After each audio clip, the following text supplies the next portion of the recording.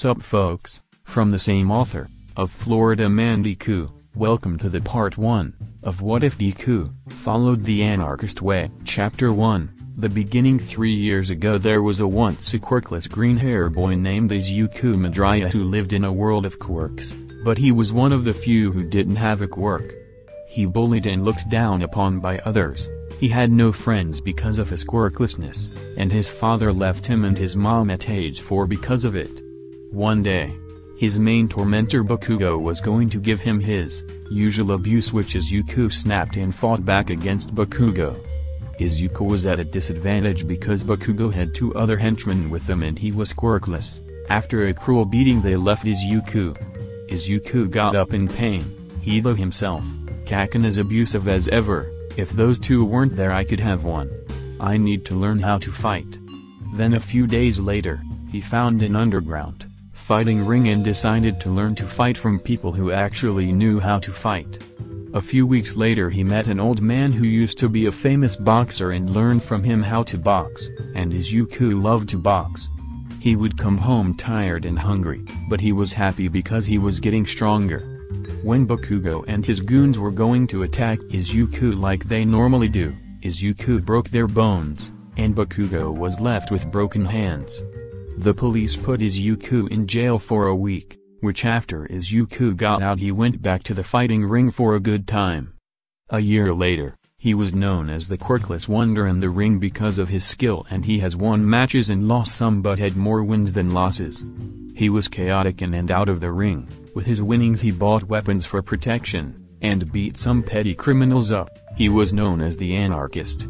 One day he met a man with a bird mask which Izuku said, Hello there, mister. The man said, Overhaul, I like the way you fight. Tell me what is your quirk? Izuku said, I don't care if you believe me but I'm quirkless. Overhaul's eyes widen, you're quirkless? Well I didn't expect that, anyways how about you work for me? Izuku, raised an eyebrow, what kind of work? Quirk analysis? Muscle? Weapons? Izuku handed over Overhaul a notebook full of the quirks of pro heroes, villains, vigilantes, and the other fighters in the ring. Overhaul was in awe and said, I would like all of your skills. Izuku smiled, I'll work for you, but I have some conditions. Overhaul looked at him, what are these conditions? Izuku said, I have, free control over what I do, I'm not forced to kill but you can use the notes to kill, and lastly I would like an apartment nearby so transport could be easier.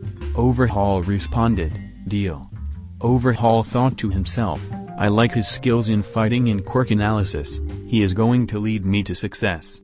But what Overhaul didn't know was Izuku was going to make him and a few other underground bosses very successful. Present day Izuku, age 15, walked into the ring to face his next opponent which Izuku looked at the blonde hair and Tintin-looking face stood into his eyes. Izuku went to attack but his attacks went through him then he saw him go through the ground and come back up, which is Izuku recognized him and yelled, get out of here everyone. IT's Lemillion and he most likely has, police outside about to break in.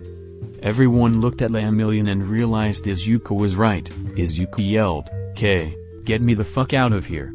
K, overhaul, went up to the cage to make spikes to keep Lemillion busy and get Izuku out of the cage, then everyone got out of the building.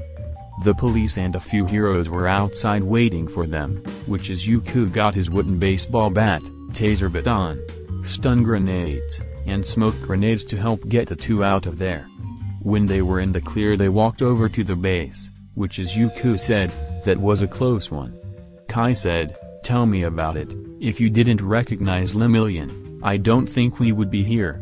Izuku said, that is what you pay me for Kai.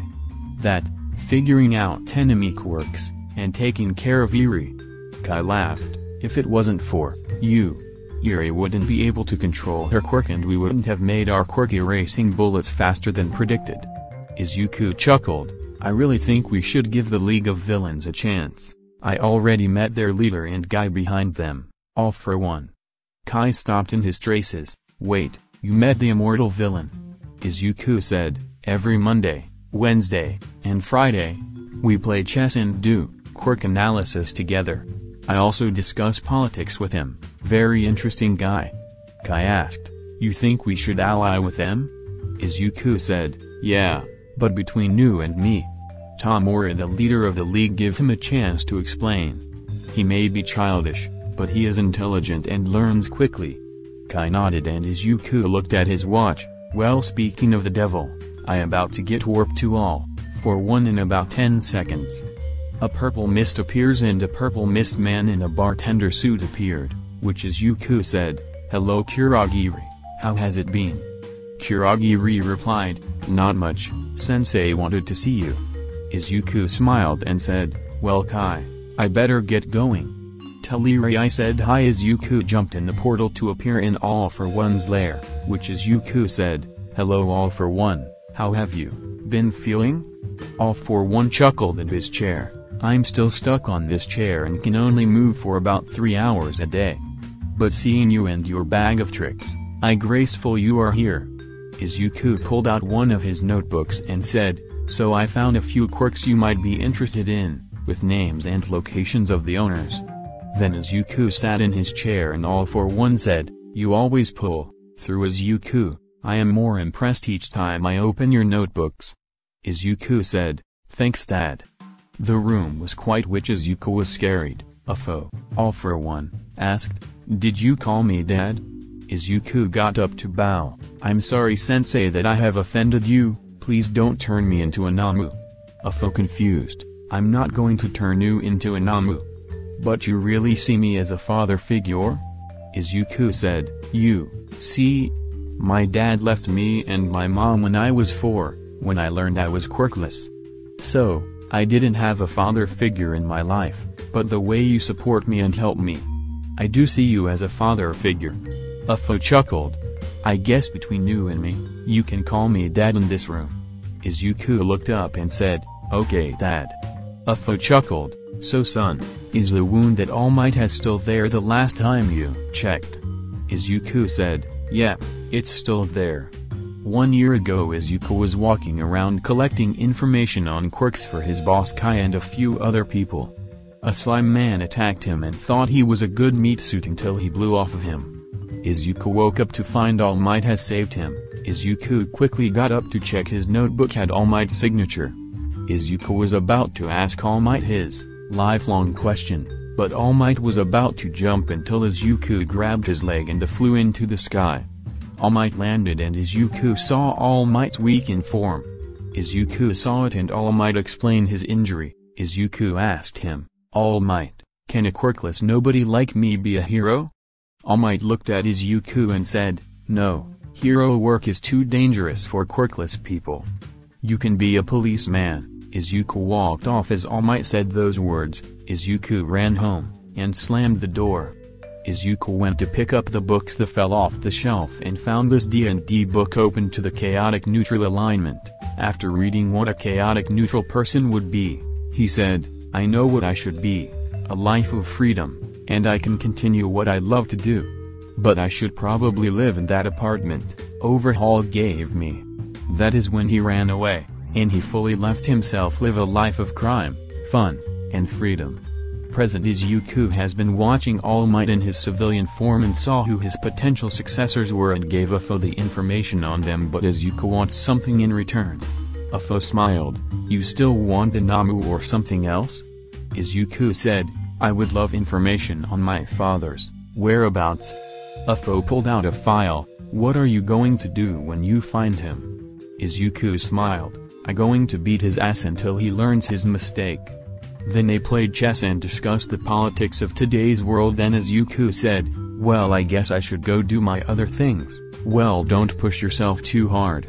Afo laughed and Izuku was warped to his apartment, his apartment was brick walls, wooden floors, a living room, two bedroom, kitchen, one restroom, and room where he stores his weapons. Izuku said, okay, I'm going to take an hour-long break then I'm heading out to bash some skulls and talk to the smugglers and slavers. Later that night, he went to Hazu to meet his favorite nighttime customers, the slavers and smugglers. They rely on people like Izuku to price people by the quirks and their usefulness, which Izuku is known in the underworld as the best person to go to for quirk analysis. Izuku went to a meat market to go to the counter to say, Hi, I'm looking for a New York ribeye, extra thick. The clerk took him to the back to a secret elevator which sent him down to the secret storage and auction of the slaves.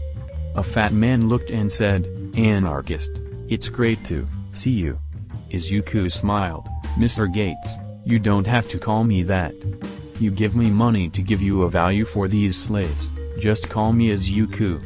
Mr. Gates chuckled, okay is Izuku, so I brought a new batch tonight, but I don't know about this child right here. Mr. Gates pointed at a child in one of the cages, which is Izuku asked, what is his problem? Mr. Gates said, he wouldn't reveal his quirk, so, I was hoping you would help us.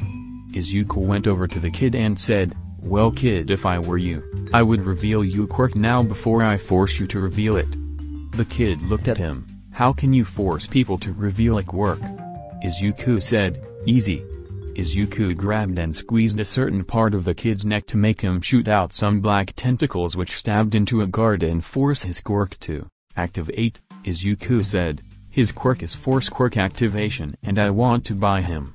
Mr. Gates surprised, I thought you don't buy slaves or support it? Izuku said, you right, but I like this kid and his quirk. I will price him around 1 million yen. I buy him from you for 1,500,000. Mr. Gates smiled, done. After the paperwork and other stuff, Izuku now owned the boy, which Izuku asked him, what is your name? The boy said, Gon Izuku said, Gon, I'm about to feed you until you hunger is satisfied, and you will be a student of mine. Izuku took Gon to his apartment to feed him and put him in his other bedroom, Izuku then said, I'm going to be gone for a little bit, but I will be back in a little bit. Gon fell asleep and Izuku went out to beat up some thugs because it was his entertainment. Izuku found some thugs surrounding a teen girl and what looks like her father which Izuku pulled out his baseball bat and taser baton to get them from behind. Izuku went behind the leader to tap his shoulder, the leader turns around for his face to meet a baseball bat to the face. The rest of the thugs turned around and one of them said, Guys, it the anarchist. The thugs looked at him and saw, that he was the guy, which Izuku said, okay here you little cum stains, you can turn around or all hell will break loose. The thugs ran off leaving Izuku, the teen, and her father, which the father said, thank you mister. Izuku said, oh sorry, I'm the anarchist, nice to meet you. Izuku shook the father's hand, which the teen asked, why did you help us? Izuku said, because I beat up thugs, for my entertainment. The father and teenager looked at him like Izuku was crazy. Izuku asked, are you too lost? I can give you direction Mr. and Miss. The father said, oh, how rude of me I'm David Shield and this is my daughter Melissa. We are lost, do you know directions to a person known here as Yagi T? Then a blonde muscled man landed next to them and said, Dave, I am here. Is Izuku in sarcasm said, oh look, He-Man showed up late to save these people and die, a quirkless nobody who you say can't be a hero, saved them like a hero. Well I'm off to a baseball game. David surprise, what? All Might said, young Midoriya, let me explain. Izuku turned around and walked away backwards with both his middle fingers in the air and said, Hey I an idea. Why don't you just take that, symbol of peace bullshit and shove it really far up your ass then clench your ass cheeks? All Might said, young Midoriya language. Melissa asked, Uncle Might, do you know him? Izuku said, yeah, he knows me. He destroyed my dream. But those dreams needed to be destroyed anyways. All Might said, Young Midoriya, I need to talk to you. Izuku texted Kurogiri to open a warp gate from his location to his apartment, which when Kurogiri opened it, Izuku looked at All Might to say, oh, All for one said, hi Izuku jumped in the portal leaving All Might falling to his knees yelling na ooh ooh ooh ooh ooh ooh. Izuku was back at his apartment and said, I had enough fun for one day. I guess I'm going to sleep. Tomorrow I have tea with Gentle. video games with Tomura, take Eri to the playground, and help Giran selling weapons to villains and vigilantes. Izuku got in his pajamas and fell fast asleep ready for tomorrow. Chapter 2, Weekend Madness Part 1 Weekend Madness Part 1 Izuku got up and said, It's Saturday. Thank God. Izuku made him and Gon breakfast which Gon asked, What are we going to do? Izuku interrupted Gon, Don't call me master, call me Izuku or Nisan. Gon asked, again, What are we doing today Izuku? Izuku said, Well today you are going to learn what I do and you are going to get into the business. Gon asked, Business? Izuku said, Of being a bad guy but not evil, like good villain or bad vigilante or something like that. Gon asked, Am I going to kill people? Izuku looked at him, No, I don't kill people. On purpose. Gon scared which Izuku said, But you're not killing people, we are going to get you an outfit and some clothes. Then I'm going to have a meeting with an extremely nice gentleman, then hang out with a buddy, and you will have a play day with my goddaughter. Gon was happy about that which after they ate, they head out to their busy day. They went to a tailor shop that is Izuku as a common customer to get Gon's size and clothes. Gon's outfit was the like Izuku's outfit which was a black leather trench coat with a green dress shirt with a red tie and black jeans. The difference was Gon had a white dress shirt and a black tie to match his hair which Izuku paid 11,141,450 yen for it. They left to head to a coffee and tea shop which Izuku saw his guy and said, Hey Danjuro, lovely day we are having. Danjuro, gentle criminal, smiled, nice to see you Izuku, I see you brought someone with you. Izuku chuckled, this is Gon, he is my student and will get into my business to help me out. Izuku looked at the girl next to him, lovely to see you too, Manami. Manami was happy to see Izuku which she said, it's very nice to see you. You are the very few nice people that are villains like us. Izuku laughed, ah, you're funny, as usual. How is the internet treating you too? Danjuro said, it's okay. Izuku said, hey if you two still want, we can rob a bank together the offer is still on the table. A good bank robbery is a good way to really catch attention and I heard there is going to be special jewelry there. The two looked at him which Danjuro spoke, we'll think about it, how are you doing with your many jobs, Izuku said, amazing, I have some quirk erasing drugs if you two want some and the new League of Villains is about to move to do their first appearance. They talked for a while until Gon said, Izuku, your meeting with Tomura is coming up soon. Izuku got up to say, well I better get going, I wish you two luck in becoming famous. Also that offer is still on the table. Remember it doesn't involve hurting people or killing, just a simple grab and go. Danjuro said, that is very appealing, we might consider the offer. Kuragi reopened a portal for Gon and Izuku to walk into, which Izuku asked, Kurogiri, can you watch Gon for me? Kurogiri nodded and Izuku went to Tomura's room to play video games with. The only people who actually have gone into Tomura's room without pissing him off are, Izuku, Afo, and Kurogiri. When Izuku got in he said, Tomura, you're looking like you're having fun. Tomura said, Izuku hurry help me, I'm about to enter the boss room. Izuku got on his laptop to game with Tomura, Izuku played as a sorcerer and Tomura was a normal swordsman. Izuku would use his spells to attack, heal, and boost Tomura, while Tomura did the attacking and defending Izuku. After, they defeated the boss, Izuku said, Tomura. Your plan of attacking is genius. Even if you don't kill All Might, you still win. Tomura stopped what he was doing to ask, what do you mean? Izuku said, think about it and bear with me here. You bring a group of villains to one of the most secure locations on the planet without triggering the alarms, that will ruin his reputation. If I don't, no. All Might wasn't there, and you injure the teachers and students who are there, that ruins not only I but also All Might's reputation because he was supposed to be there to protect his students from injury.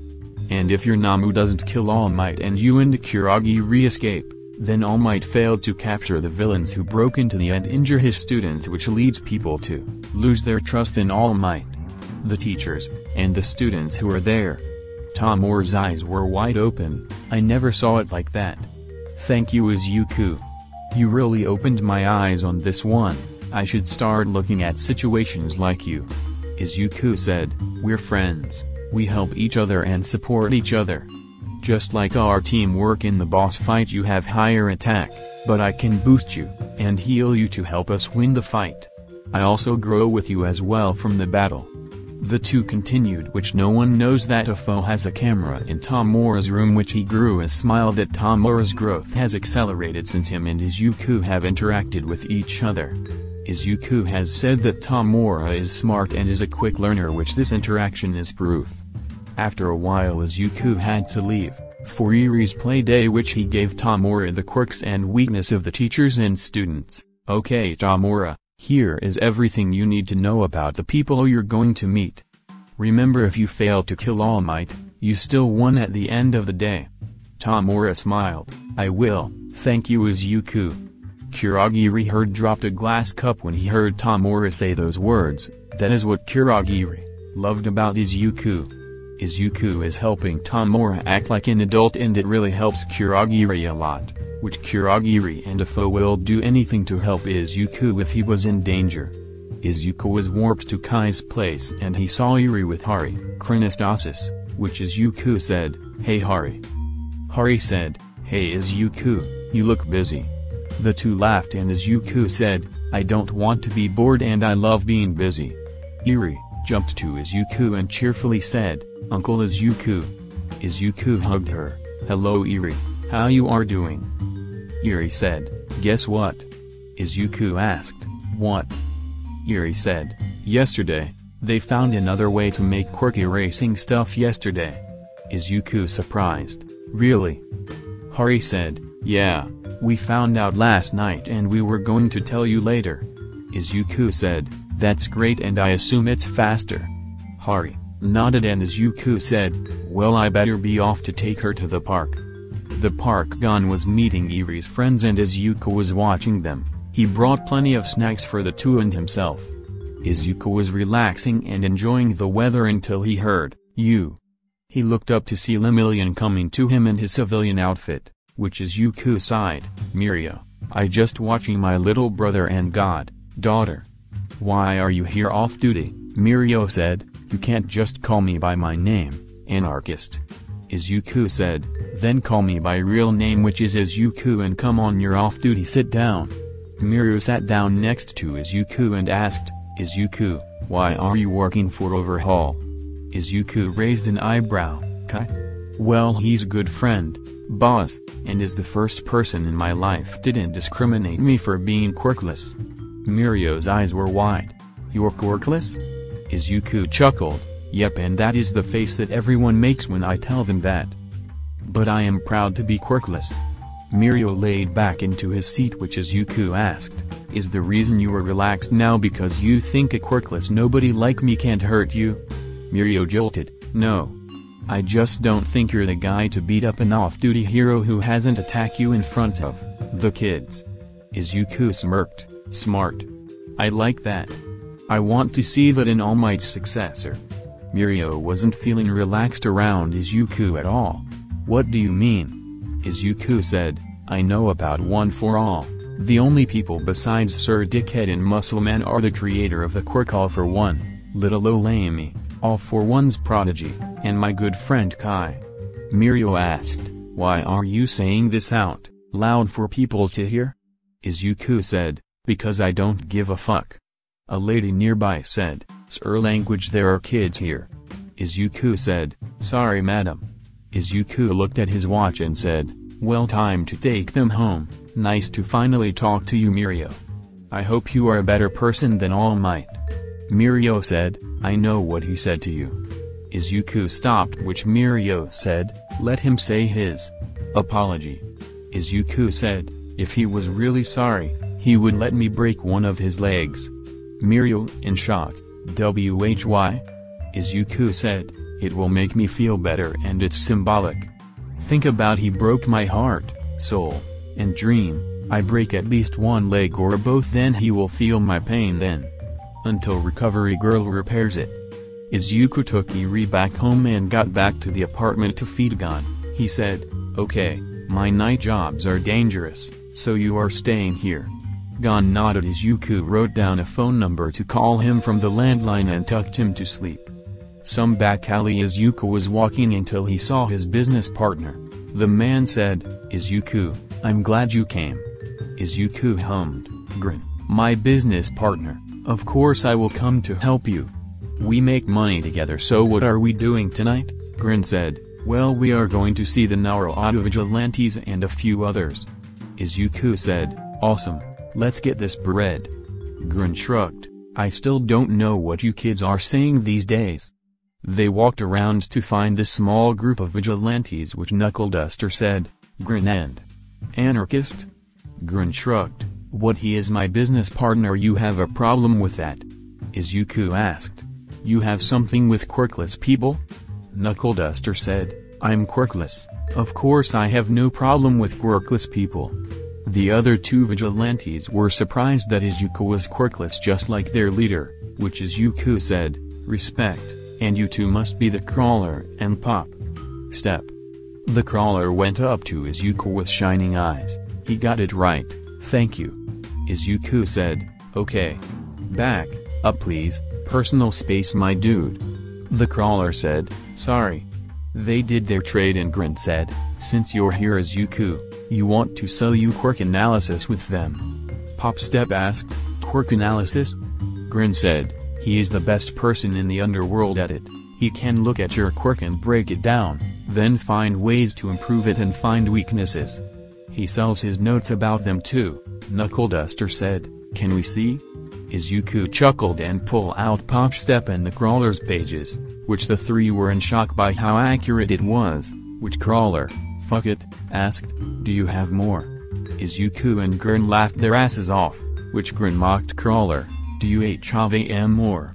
Which after a few seconds, Giran said, he has an entire library of quirks of heroes, villains, vigilantes, and other people of interest. Izuku said, I had to buy an entire warehouse of it. The vigilante's jaws dropped to the ground from the statement, which Izuku recomposed himself, sorry about that. But which people are you looking for? Knuckle Duster said, Kun Hikajuka Izuku said, oh, I have that one on me. Izuku flipped a few pages to find her and pulled her out then said, that will be, 10,000 yen. They gave him the money to Izuku and Knuckle Duster said, nice doing business with you anarchist. Izuku said, let me know if you know a good underground ring to go to, I love a good fight. Crawler asked, you watch those? Giran said, no kid, he actually fights in them and he is pretty good fighter. Knuckle Duster asked, if you have free time, I would like you to help me train, this one. Izuku said, hell yeah sure. Izuku and Giran walked off in the darkness which Giran said, I think we are going to get more money from them in the future. Izuku said, good, I love the underworld these days. Giran said, I feel like one day, Tomura will become a great villain like Sensei keeps saying. Izuku said, Tomura came from a tragic past which can make a powerful villain. I believe so too. Giran said, you are a powerful person yourself, what is your secret for that? Izuku chuckled, like all quirkless people, we are weaker at birth.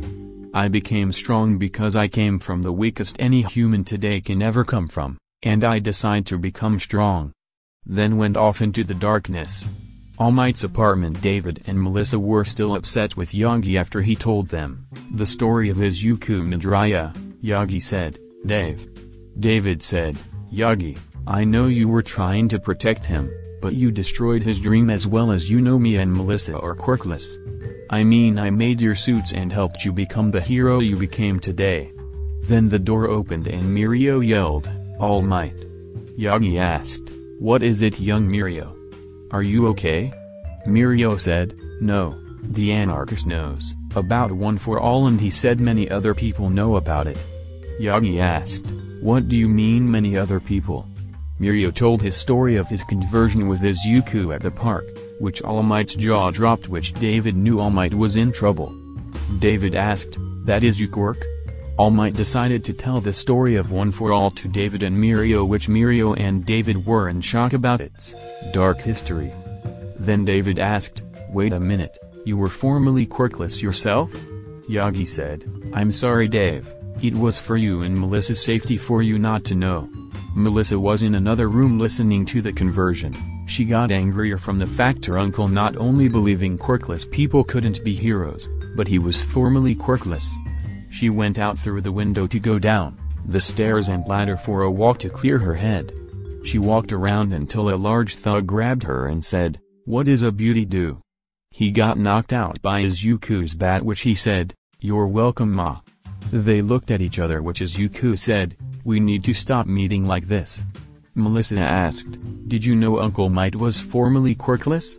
Izuku said, Sensei told me after a week I met him, which is also two weeks before All my Detroit smashed my dreams. Melissa asked, Who is Sensei? Izuku asked, Do you want to know? Melissa nodded and Izuku said, All for one Melissa gasped, You mean the man who created the quirk? Izuku nodded, then asked, You want me to walk you home? Melissa said, No, I want to clear my head for a little bit. Izuku said, I will walk around with you because you are just a trouble magnet and I love it. The two walked around the block which Melissa would ask a couple of questions to Izuku about every few minutes. Then Izuku took her back to the apartment which Melissa said, Thank you for walking me around. Izuku said, No problem. Melissa asked, So you're quirkless? Izuku said, since birth Melissa said, you're not that bad of a guy, you know. Izuku chuckled, you're funny. Then Melissa kissed him on the cheek, then the door opened to where Yagi, David, and Mirio stood there to find the two. Izuku said, this is my cue to haul ass. Izuku started running while Mirio was chasing him. Izuku pulled out a stun grenade to buy some time which Izuku then pulled out a grappling hook to climb up the building and said, Sorry, Lemillion, not today. Izuku continued to run off into the night. David asked Melissa, Are you okay? Melissa said, He saved me again and he gave me some helpful answers to my questions. Yagi looked at his Izuku running into the night as his Izuku was a reminder of his greatest failure. Melissa liked his Izuku because he was brave and he didn't care he was quirkless, he helped however he can kind of like a hero. She smiled as he ran into the darkness, which Lemillion said, sorry All Might, I couldn't catch him. Yagi said, it's alright young Mirio, we will get him when we get him. Chapter 3, Weekend Madness Part 2 Izuku checked his Sunday schedule which consisted of two things that Izuku wanted to do. Izuku looked at Gon. Today, I'm going to send you to play with Eri, but remember Kai is a germaphobe so try to be clean as you can and if he said you're dirty just clean yourself again. But Kai is actually nice when you get to know him and also try to never get Eri near the room. Gon nodded and asked, what are you doing? Izuku said, just a personal thing I have been meaning to take care of and a really good friend and I are going to wreck some stuff. After Izuku dropped Gon off, he got his weapons for this little project he was about to go to. He then texted Kurogiri to warp him to the location and he stepped through to find a nice house in a small town in North Japan. Izuku walked up to the door and saw the sign on the door that reads, Midoriya Residence, make yourself at home. Izuku chuckled. I guess I will. He knocked on the door, which he heard a man said, I'll get it. The door opened to reveal a tall man with green eyes and hair looked at Izuku to ask, Hello, how can I help you? Izuku asked, Are you Hisashi Midoriya? Hisashi said, Yeah. Izuku chuckled. I guess I finally get to meet you. Dad. Hisashi's eyes were wide open, which Hisashi's wife asked, Who is it Hisashi? Hisashi couldn't say a word, which Izuku said, Oh, just his first son that he abandoned because he was quirkless. Hisashi said, Give me a moment dear. Hisashi stepped outside and closed the door, which Izuku smirked, What?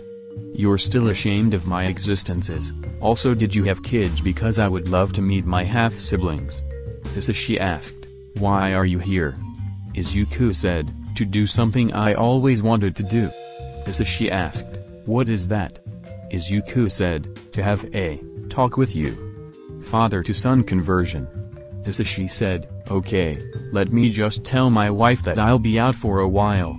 Izuku nodded, Hisashi opened the door to tell his wife and went back outside to say, okay, let's talk. Izuku knocked him out with his bat, then texted Kurogiri to get him and dad to his warehouse, which Izuku said, this is just too easy. Two hours later at the warehouse Hisashi woke, up to find himself strapped to a chair, which Izuku on a chair across from him said, you're finally awake. Good. Hisashi asked, what is the meaning of this? Izuku laughed, like I'm going to talk to a deadbeat like you, I'm just going to do something I always wanted to do. Hisashi said, look Izuku, I'm sorry that I left you and Inko. Izuku said, you realize that a simple sorry can't fix this and coming back will piss off mom more than anything. I left mom to protect and lift her from my burden, while you. Izuku grabbed a hammer. You left for the most stupid reason I have heard in my life. Izuku hammered Hisashi's wrist until it fractured, Hisashi cried in pain, which Izuku said, bitch please, take it like a man. Izuku then got out a generator at jumper cables which Izuku, asked, do you know the voltage that can kill a human? Hisashi in pain, I'm sorry, please forgive me. Izuku got the jumper cables and jabbed them in Hisashi's gut. After a few seconds Izuku pulled them away to say, what did I just say about forgiveness? Hisashi was crying in pain while Izuku increased the voltage on the generator, which Izuku chuckled. Now answer the question, how many volts does it take to kill the average human? Hisashi said, 150 Izuku jabbed the jumper cables on him. Wrong Izuku increased the voltage and Hisashi said, 100 Izuku jabbed the cables again to say, First you were high now you're low. Izuku increased the voltage and Hisashi said, 120 Izuku dropped the cables and said, correct Izuku then pulled out a strange device which Hisashi asked. What is that? Izuku said, I forgot what it's really called, but I call it the Nutbuster. Hisashi shocked, what? Izuku said, okay you have a choice, I can chop one of your fingers off or use the Nutbuster on you. Hisashi said, finger. Izuku laughed, of course you would but I have a better idea. Izuku pulled out a syringe full of quirk erasing drug which he injected into Hisashi and said, congrats, you are now quirkless like me. Hisashi was his absolute shock which Izuku untied him to say, come fight me, come kill the nut you busted that busted you. Hisashi got up and said, I'm not fighting you, Izuku. Izuku smiled, too bad. Izuku punched him in the face, then got on top of him to punch him in the face repeatedly. After a while Izuku got up to wash his hands that went, to Hisashi to say, well this is part 1. He got his phone out and called Sensei, yeah, can you turn him into a Nomu for me? Sensei on the other end laughed and agreed to do it, which Hisashi was warped to Sensei to become Izuku's Nomu. Izuku looked at his phone to said, okay, it's time to hang with Dabi. The alleys of Kamino Izuku walked around to find Dabi then smelled the smell of burning flesh, which Izuku knew he was nearby. Izuku found Dabi to say, Hey Dabi, you lovable flaming psychopath. Dabi looked at him and smiled, Hey Izuku, you ready to cause a mess?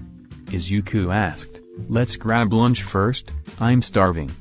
Dobby laughed, then the two headed to a cafe that just opened.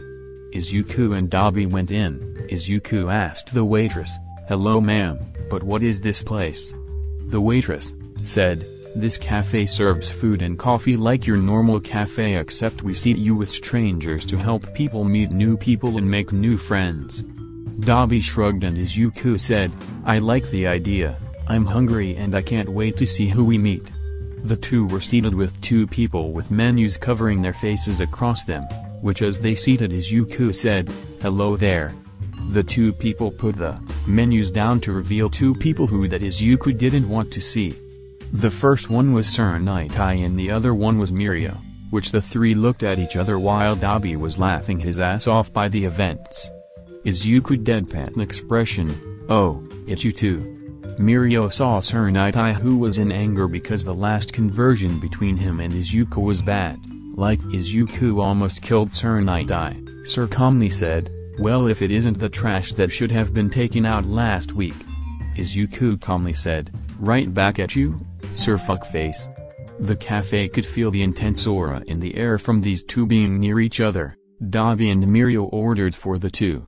While Izuku and Sir were staring each other down, Mirio and Dabi made truce to prevent these two from killing each other. Sir glared.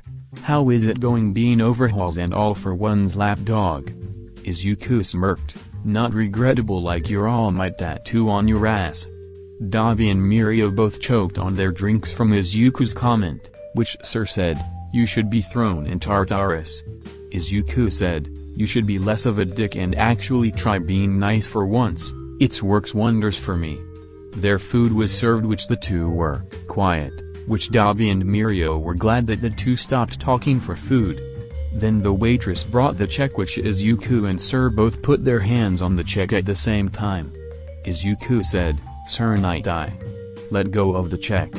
Sir glared at Izuku to say, I think for both of our sakes, I will pay the check. Izuku smirked, like you give a shit about my sake and All Might's successor over, there has no idea who he is up against. So, for both of our sake I will pay the check.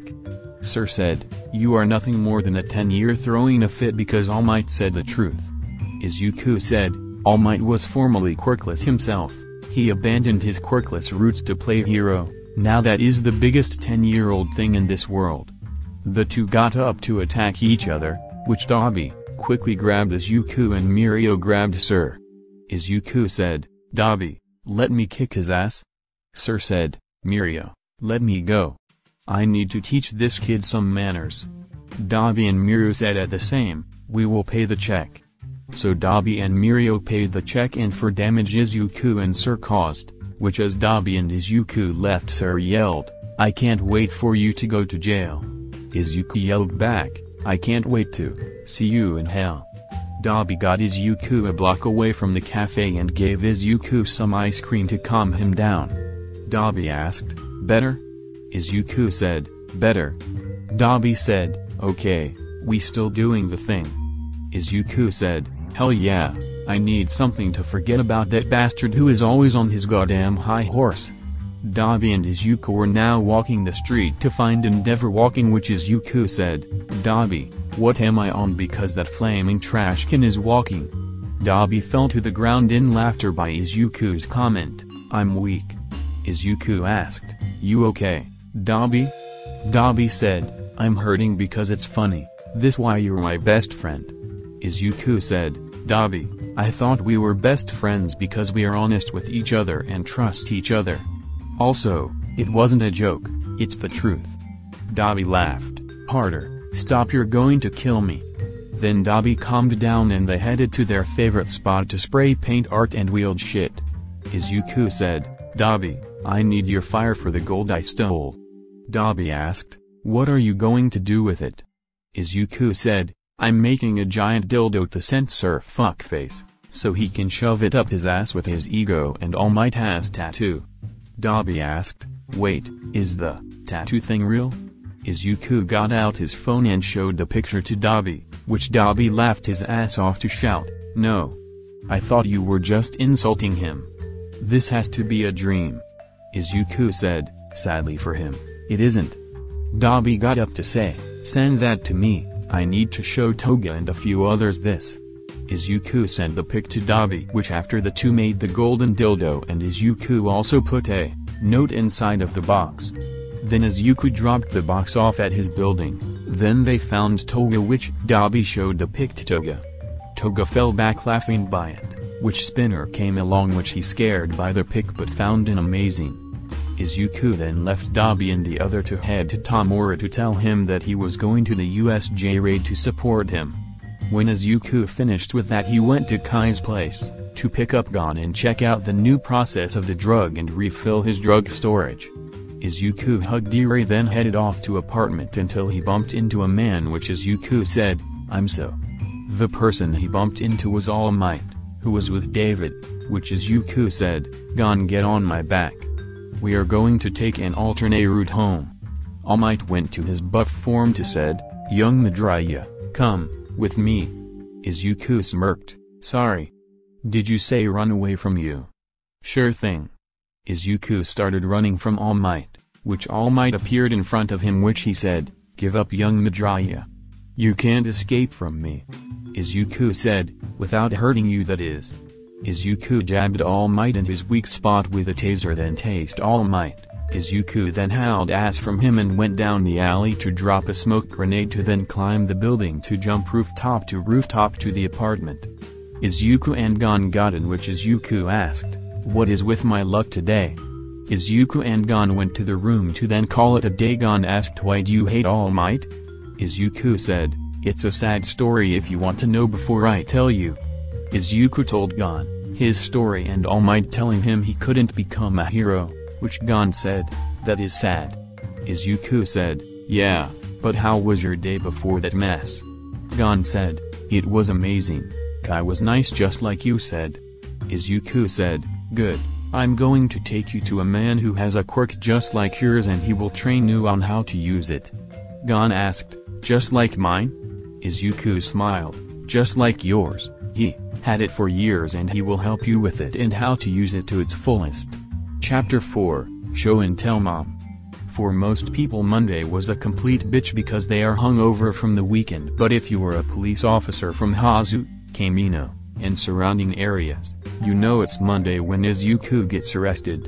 Izuku gets arrested every Monday then by a bullshit miracle he escapes and destroys most of the police station. Cementos works overtime on Monday because of this which All Might and Eraserhead are forced by a new law called Izuku Midoriya law specifically to watch Izuku, and others like him, while he is in the interrogation room and when sending him to his jail cell. Izuku laughed that the Japanese government made the law just for him because he made this a Monday thing. Izuku turns himself in on purpose just to escape to absolutely destroy the reputation of the law the police, and heroes.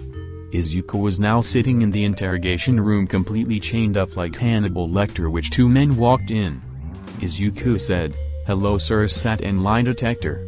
Naomasa sighed because he is tired of Izuku's shit, hello again, Izuku Midoriya. Izuku asked, what is, he doing here? Sir Nighteye said, I'm here to apologize for what I said yesterday and the times before that. I saw that could be a hero if you're on the right path which me and All Might were wrong about it because you were quirkless. Izuku in shock, bring me my phone, I want to record this. Naomasa said, sorry, I'm not doing that. Izuku pouted. I guess I'm not saying a word and I will, escape like I normally do. Sir Nighteye got Izuku's phone out and Izuku told him the password which Sir apologized with the recorder on which Izuku decided to bury the hatchet. For now. Naomasa felt the tension die down a little bit which they began the interrogation, which Izuku's mom, All Might, and Eraserhead were behind the glass. Ms. Midoriya was shocked to see her son because she hasn't seen him since he ran away and she was tearing up. Naomasa asked, okay first question, where's all for one? Is Izuku said, sorry can't answer that one. Sir asked, why? Izuku said, I get warped to his location, I never actually walked or was told where it sat. Naomasa heard, truth he continued, what is overhaul planning? Izuku said, erase quirks and control the quirk market like he said, three weeks ago. Nothing more, nothing less. Naomasa heard, truth Naomasa asked, you were the last person to see Hisashi Midoriya, your father. Where is he at? Izuku chuckled, he is coming. The two looked at him, Sir asked, what do you mean? Izuku asked, is mom on the other side of the glass? Naomasa nodded, then a warp portal opened revealing a big dark green Nomu coming out which, Izuku said, speak of the devil, dad get me out of these restraints. The Nomu got Izuku out of his restraints which Naomasa and Sir were shocked that Izuku would do this to his own father. All Might and Eraserhead were in disguise by this and tried to get to the other side. Izuku said, Okay, Dad kill everyone here except me and the short green-haired woman on the other of the mirror. All Might came in which the Nomu attacked him and started wreaking havoc, which Izuku went up to his mom to say, Come on mom, I will answer your questions when we get to my place. Miss Midoriya took Izuku's hand and they were warped by all for one to Izuku's place, which Izuku said, Gon, I'm back. Gon appeared and asked, Who is that? Izuku said, This is my mom and since you're my little brother, you can call her mom if you want or just Miss Midoriya if you want. Gon nodded and Izuku got his mom seated with tea next to them, then Izuku asked, Are you comfortable? Ms. Midoriya asked, What have you been doing? Izuku leaned back to say, You want the long answer or the short answer? Izuku looked at his mom and said, The short answer is that I'm a member of the Izuka, a member of the League of Villains, illegal arms dealer, slave valuer, info broker, and I guess a part-time vigilante. Ms. Midoriya looked at her son in shock, what is a slave valuer? Izuku said, I look at slaves and their quirks to determine how much money they are worth. Ms. Midoriya slapped her son, I did not raise you to be involved in the slave trade. Gon said, but if he wasn't, he wouldn't have saved me. Ms. Midoriya looked at Gon and to Izuku, is that true? Izuku said, yeah, I have saved many slaves and returned them to their families but Gon here has no family, so I took him in. Miss Midoriya said, I'm sorry Izuku. Izuku got an ice pack, no, I deserve that one. Ms. Midoriya asked, so you work for Overhaul and who is this all for one? Izuku said, All Might's archenemy. Who is like a father to me. He is a really nice guy when you actually get to know him. We play chess, do quirk analysis, and talk politics every Monday, Wednesday, and Friday. Gon said, speaking of which, you have a meeting with him in 10 minutes. Miss Midoriya said, I want to meet him. Izuku in shock, what? Miss Midoriya said, I want to see if he really is a nice guy like you say he is. Izuku shrugged because he knew he wasn't going to win this agreement. She asked, you called that monster dad is that really? Izuku said, yeah, after I beat up dad, I got all for one to turn him into a Nomu. Ms. Midoriya in shock, what? Izuku said, you should have seen him, he remarried and had two kids. What's worse the boy is named Izuku, which means there are two Izuku Midoriyas in Japan from the same dad. He actually replaced me, mom. Ms. Midoriya was in shock and rage which Izuku said, but I didn't hurt them. I just want father to suffer for what he did to us. I'm sorry I have turned into a monster I am today. Ms. Midoriya hugged her son, I still love you, I heard from All Might about saving people which I was happy about it but I'm still angry he told you that you couldn't be a hero. Izuku said, wait, All Might came to talk to you? That bastard, I'm going to break both of his legs and maybe an arm as well. Izuku cried a little bit with his mom and after a while Kurogiri's warp gate opened which he, his mom, and Gon went in. Izuku said, I love Mondays, sensei. Sensei chuckled, you never run out of ideas do you, Izuku? Keep it up because Tomura is, learning from you and is improving and finding ways to improve strategies. Ms. Midoriya was afraid but seeing all for one and Izuku talking to each other, it calmed her down. Sensei asked, Are you Izuku's mom? Miss Midoriya said, Yes sir. Sensei said, You have truly raised a wonderful son, he made what people think is a weakness into an advantage which you should be proud that your son is, well respected by many even me. Izuku chuckled, Sensei, you're so kind. Miss Midoriya saw Izuku's smile and saw it pure happiness which she haven't seen it in a long time, I am glad he is happy, I haven't seen him this happy in a long time. I'm glad you helped make it. Sensei turned to Gon to ask, are you Gon? Gon said, yes sir. Sensei showed his force activation quirk which Gon was in awe and, Sensei said, I heard you have this quirk as well. I will train you on how to use it Gon show what he could do with it, which Izuku continued to answer his mom's questions, which after a while Izuku said, I think it's time we head out to check my goddaughter. Ms. Midoriya was shocked about the statement, Sensei said, well it was nice to meet you Miss Is Izuku have a nice day and you, are still going with Tomura on his debut. Izuku said, I can't wait for it, dad. Ms. Midoriya was even more shocked that her son called this man his dad, which Izuku, his mom, and Gon were warped to Kai's place. Kai's hideout Izuku helped his mom stand straight, yeah, it takes a while to get used to warping. Hari saw them and asked, Hey Izuku what you up to today? Izuku smiled, this is the first time I met my mother in about a year, so I'm catching up with her. Eri came out to hug Izuku, Uncle Izuku. Izuku picked her up, wow, you are getting bigger each day. You are going to be taller than me soon. Eri giggled then she saw Izuku's mom which Izuku said, this is my mom. Ms. Midoriya looked at the child to see that she was incredibly cute and Eri said, Grandma. Miss Midoriya, fell over, which Izuku said, don't die on me, mom. Ms. Midoriya got up to say, sorry, I wasn't expecting to be called that until much later in my life.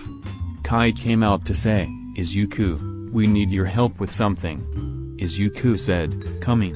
Izuku left his mom, gone, and Eri with Hari because Izuku trust Hari to do that. Ms. Midoriya asked, what are they doing? Hari said, most likely Kai wants, Izuku to analysis some quirks on some heroes we will attack soon or quirks for our attack on one our rival Yakuza. Ms. Midoriya was seen Izuku was important and everyone actually respects him despite being quirkless like All for One said. After a few minutes, Izuku came out to say, okay so we are heading off to my apartment. I can't wait to for the fight in a few days with the League. Hari said, have fun, if it goes well Kai will work with the League.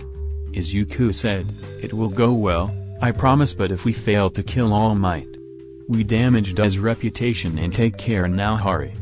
Before they left, Hari said, Overhaul found another fight ring you two can go to. Izuku said, I can't wait, I have been itching for a fight. Miss Midoriya looked at her son and saw that he was, definitely different from she remembered. Izuku's apartment Izuku, gone and Ms. Midoriya were warped in his apartment which Miss Midoriya actually looked around and it was much nice than she had. Izuku said, we will move you here tomorrow, because I need my one hour break. Miss Midoriya said, well I didn't expect you work for people who are nice to be honest. Izuku said, most don't think so, either, but sometimes kindness and brains gets you really far. The door knocked and Izuku went to get it, he opened it to reveal Melissa, Izuku said, How did you find me? Melissa said, I put a tracking device on you the last time we met. Izuku nodded, smart. Are you going to turn me in? Melissa said, no. I just want to get to know you. Izuku said, okay, but can we do this later like, maybe a date? Melissa blushed, as sure as Izuku said, okay, tomorrow around 8. Melissa nodded. I will see you then. She left and as Izuku closed the door, he turned around to see his mom. Miss Midoriya said, my son is going on a date with such a beautiful girl. Izuku turned red, Mom, please. Chapter 5, Panic at the USJ. Panic at the USJ. Is Izuku's mom now lives with her son, because Izuku has a much nicer place and Izuku insisted. Izuku will head on with the league to the USJ to fuck some shit up. He will also go a date with Melissa, and he will meet second girl.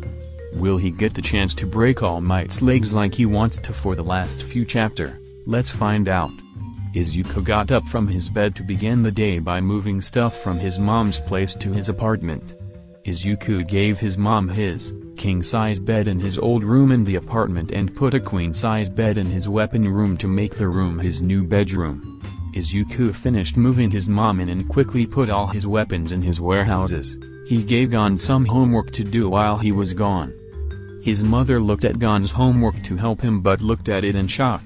Ms. Midoriya asked, Izuku, What is this? Izuku said, I'm teaching him Latin, accounting, economics, politics, philosophy, and English.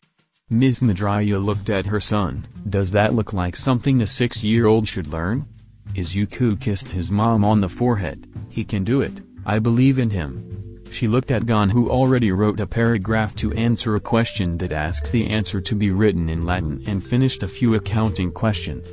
She was in amazement by Gon's knowledge in the fields and did try to help out the subjects she did know, which is Izuku got warped to the Leaves hideout. Izuku asked, Tomura. You ready?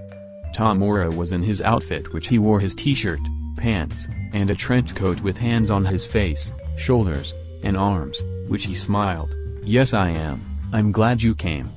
Izuku nodded which Tomura got up on a table to give his speech to the grunts they hired.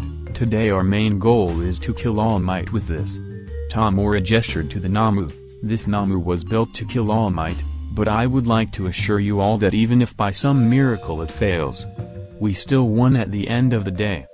The grunts looked at Tomura in confusion which he continued, we are going to get in undetected without triggering the alarms and if you all injure any students then All Might and you have failed to protect and keep their brats safe. We will be written in the history books as the ones who tore down this stupid and failure of a system hero society. We will bring rise to a new system that will benefit us. As soon as we enter the USJ, we have already won. The grunts saw the picture and cheered, Izuku saw how inspiring Tomura was and he felt inspired by the speech. Afo heard Tomura's speech and felt nothing but pride for him. He knew he was going to walk the earth as one of the greatest villains to exist. Tomura got down from the table to ask, How did I do? Kurogiri said, That was amazing Tomura. Izuku nodded putting on sunglasses and a bandana covering his mouth, You have talent for public speaking, you should use it more. Kurogiri opened a portal and the three went in first to greet the students first. USJ the three came out of the portal to see the students, 13, and Eraserhead, which Tomura said, I don't see All Might, well I guess we will have to draw him out. Izuku said, I'm glad you are taking this so well, remember the Nomu is for All Might. Kurogiri will handle 13 over, there and I will handle Eraserhead. Izuku revealed his new razor wire-covered baseball bat which he learned that it could cut Eraserhead's scarf up if it touches his bat. Kurogiri started warping students except a few of them. Eraserhead saw grunts coming out of the portal and started running into them but Izuku jumped in front of him. Izuku asked, Now, now Eraserhead. Where do you think you are, going to? Eraserhead activated his quirk which Izuku pissed off. I'm deeply offended that you assume I have a quirk, better yet that I need one to kick your ass. Eraserhead looked at him in confusion, what? Izuku took off his sunglasses and bandana to say, you know I'm quirkless, like lack of quirk. I respected you because we both fight quirkless, but now you are pissing me off. Eraserhead, groaned, Izuku Midoriya, why are you here? Izuku said, because Aizawa. I am here to support the new League of Villains and take care of you. Aizawa smirked, what makes you think you can beat me? Izuku chuckled, I haven't shown you all my tricks. Then Aizawa asked, what trick haven't you sh? Izuku shot Aizawa in the dick with a rubber bullet. Which he said, don't worry they are just, rubber bullets. Izuku continued to shoot Aizawa in the dick and other parts of his body until he ran out of bullets in the clip then went up to Aizawa to knock him out with his nightstick he also carried around with him. Izuku turned to Tomura to say, Eraserhead is knocked out. Tomura smiled, there are some problems at the mountain zone, can you check on that? Izuku walked to the portal. Sure thing, it wouldn't hurt to check it out. Mountain Zone Momo, Kyoka, and Denki were just about to relax from defeating all the villains until a big villain with an electric quirk grabbed Denki's neck to say, I would surrender if I was you too. The two had no choice but to drop their weapons with the grunt was about to do something dirty to the girls until a whack to the back of his head. He fell down and Denki who was still in his stupid stage was free. The girls saw that Izuku was the one who knocked out the grunt. Izuku said, Herku, You bastard I thought you learned to stop harassing women. Jesus Christ, I going to reteach you a lesson about how to treat lady. Kyoka backed up and fell off the cliff, Momo yelled, Kyoka. Izuku ran off the cliff and dived to catch her and used his grappling hook to help them land safely. Which he put her down to say, sorry about that miss, but you don't have to thank me. Izuku walked off which Kyoka asked, what is your name? Izuku looked at her, Izuku Midoriya also known as the anarchist. I hope you are one of the few students here who don't get injured because I will beat the shit out of the guy who hurt a beautiful girl like you. She blushed which then a portal opened up and Izuku said, I got to go, Tomura is waiting on me. Izuku left, leaving her to red and embarrassed but she was falling in love with Izuku and she didn't know it yet. Central Plaza Izuku appeared next to Tomura, the brats survived but one of them is injured, but we are doing great. Suddenly a loud Deku was heard, Izuku groaned as he saw Bakugo flying at him which he said, give me a moment that one is mine. Is Izuku ran at Bakugo and Bakugo flew at him. When they were a foot away from each other Izuku pulled out a flashlight to blind Bakugo. Izuku quickly moved out of the way for Bakugo to crash land, which Izuku used his taser baton to hit his back as he got up. Izuku said, Kacchan. It's been forever. Izuku smashed one of Bakugo's hands then said, How are you? Izuku went to the other hand and did the same to officially break both his hands which he continued. Hands? Oh, they are still broken. I thought you would get that fixed. I guess you're too stubborn to get help from a doctor. Bakugo, in pain, I'm going to kill you Deku. Izuku jabbed Bakugo in the ribs to tase him, a hero doesn't threaten a villain, with death, you know that.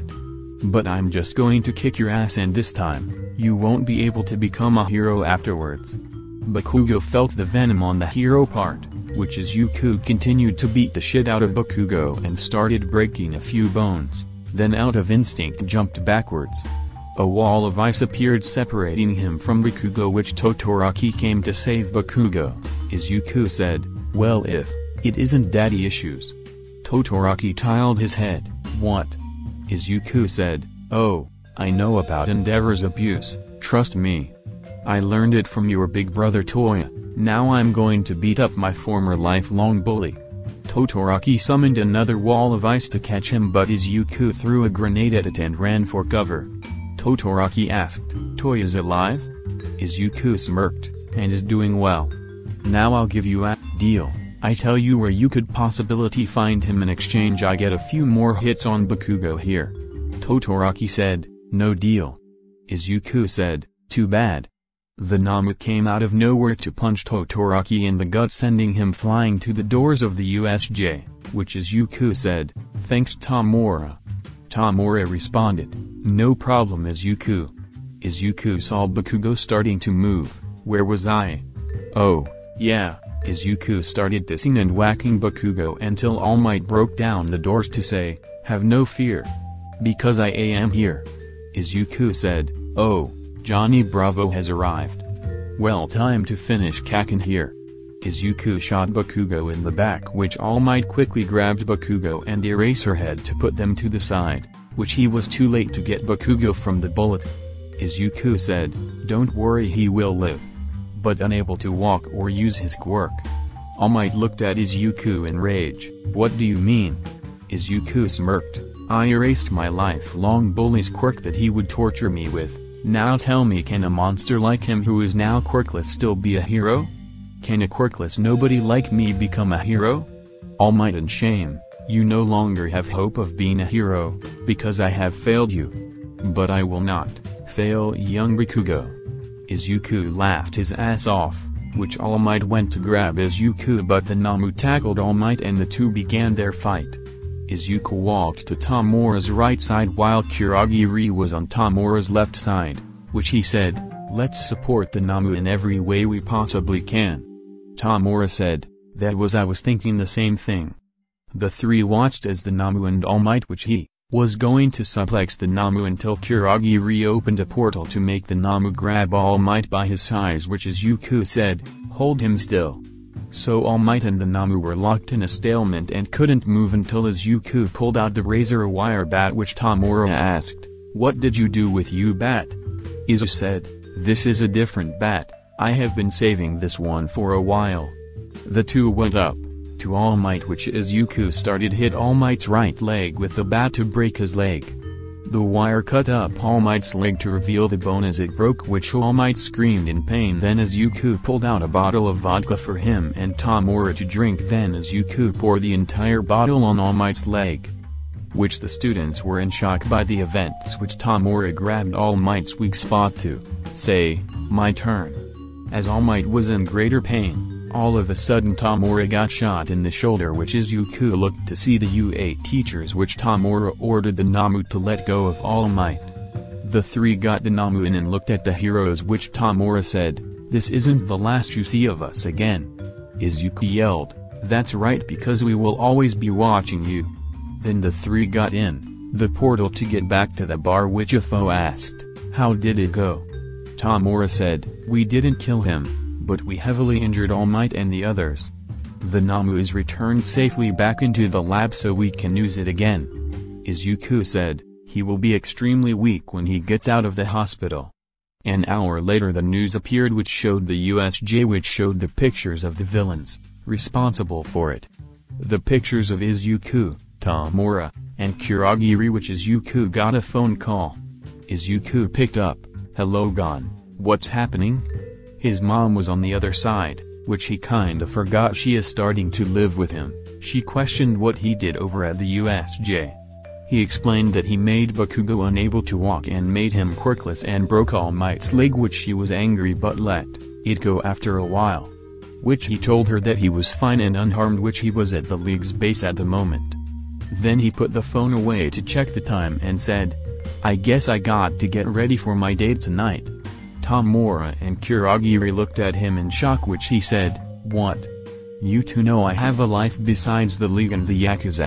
Which Kurogiri asked, Who is the lucky lady? Is Izuku said, Just someone I met a few days ago. Well, have fun recruiting more people and I will get Dabi and his friends to join you. Kurogiri warped Izuku to his apartment so he can get changed and check Gon's homework quickly. His mom was still shocked that Izuku was teaching on such high-level knowledge which Izuku response was, Trust me, these subjects really help me in this line of work. Izuku wore a black tuxedo with a green dress shirt and a white tie. He walked out of his apartment to find Melissa in her dress, same as the movie. Izuku said, You look stunning. Melissa blushed, You think so? Izuku said, No, I know you are. Izuku then got a limo to pick them up which Melissa said, this is nice. Izuku said, if this is nice, wait until you see where we are going to. They arrived at a place called Tapas Molecular Bar, which Melissa was impressed by the place. They got their food and she enjoyed it and had some fun, but Melissa saw the bill which Izuku chuckled and paid it and left a tip of 11,086 yen, a little more than $100. Izuku said, Let's have some fun and I have money to burn. They rode around to little shops and tech shops as well which Izuku did have a really good fake driver's license and bought a brand new Tesla. Which he was driving around with her in it which he said, so this is what it feels like to drive in style. The two were having a blast which then he drove to her place which she said, I had a great time. Izuku said, hey, I sorry about the whole breaking your Uncle Might's leg thing. But I like you so I guess he will probably get an apology card from me. Melissa in shock, really? Izuku said, unless you don't me too. Melissa said, I like you too, but I think you should get on my dad's good side a little and send Uncle Might an apology card. Izuku smirked, okay, it will be done my lady. Melissa laughed and he opened the door for her and walked her to apartment which David opened the door to find the two. Izuku said, don't worry, I brought her back safely and unharmed, she had fun and I going to leave now. David was about to say something but Mirio ran out of nowhere and Izuku got in his new car and Tokyo drifted his way from Mirio. Mirio got on the windshield which Izuku yelled, don't dirty up the windshield. I just bought this thing like an hour ago. Mirio was about to phase through the windshield, until Izuku stepped on the brake to send Mirio flying off the car and Izuku put the car in reverse. Izuku drove off and called Kurogiri to warp him and his new car to his warehouses. Which a portal appeared in front of him and he put his new car in one of them and covered it because it's a new Tesla and he doesn't want to get it dirty. Izuku came home and told his mom how the date went and everything, which Gon said, I got your bills and bank account information letters. Izuku grabbed them and started doing them. His mom wanted to help but was amazed by her son is able to do his bills with ease.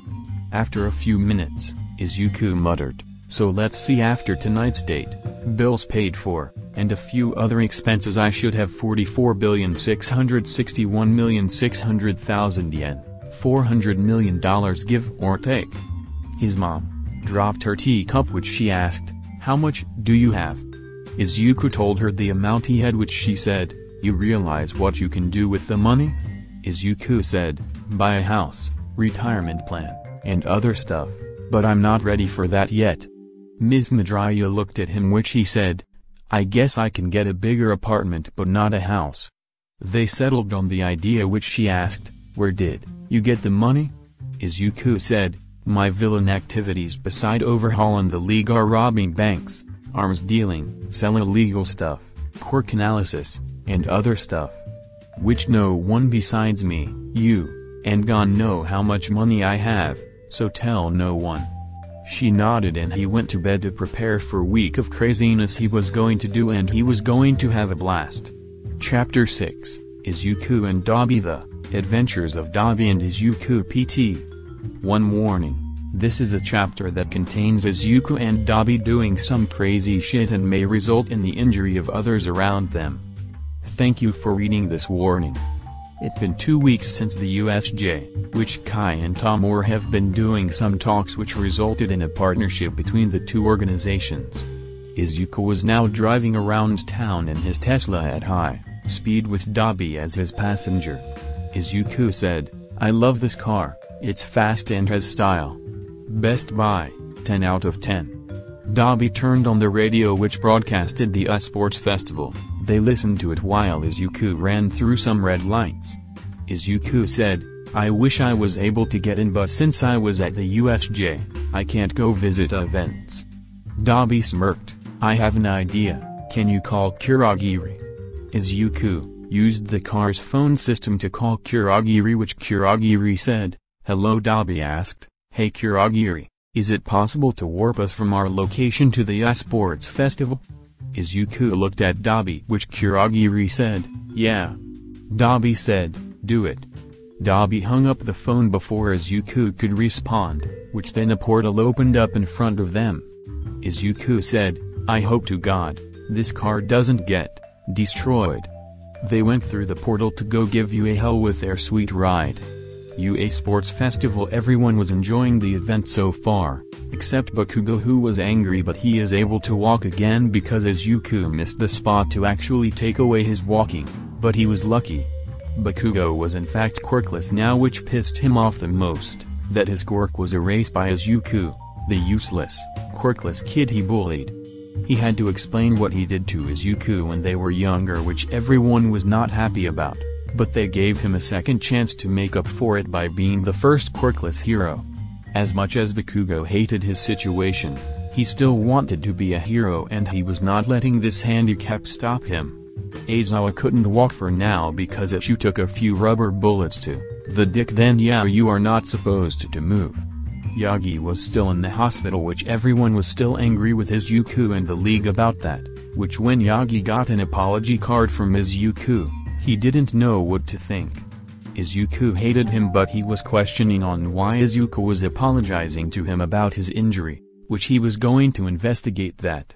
Nezu had to work overtime to take care of interviews and paperwork about the USJ, like the injuries of the students, teachers, and property damage. Everyone was relaxed and enjoying the festival until they saw a portal open and saw a black Tesla fly out of it making donuts on the fighting ring which had Kyoka and Mina on it.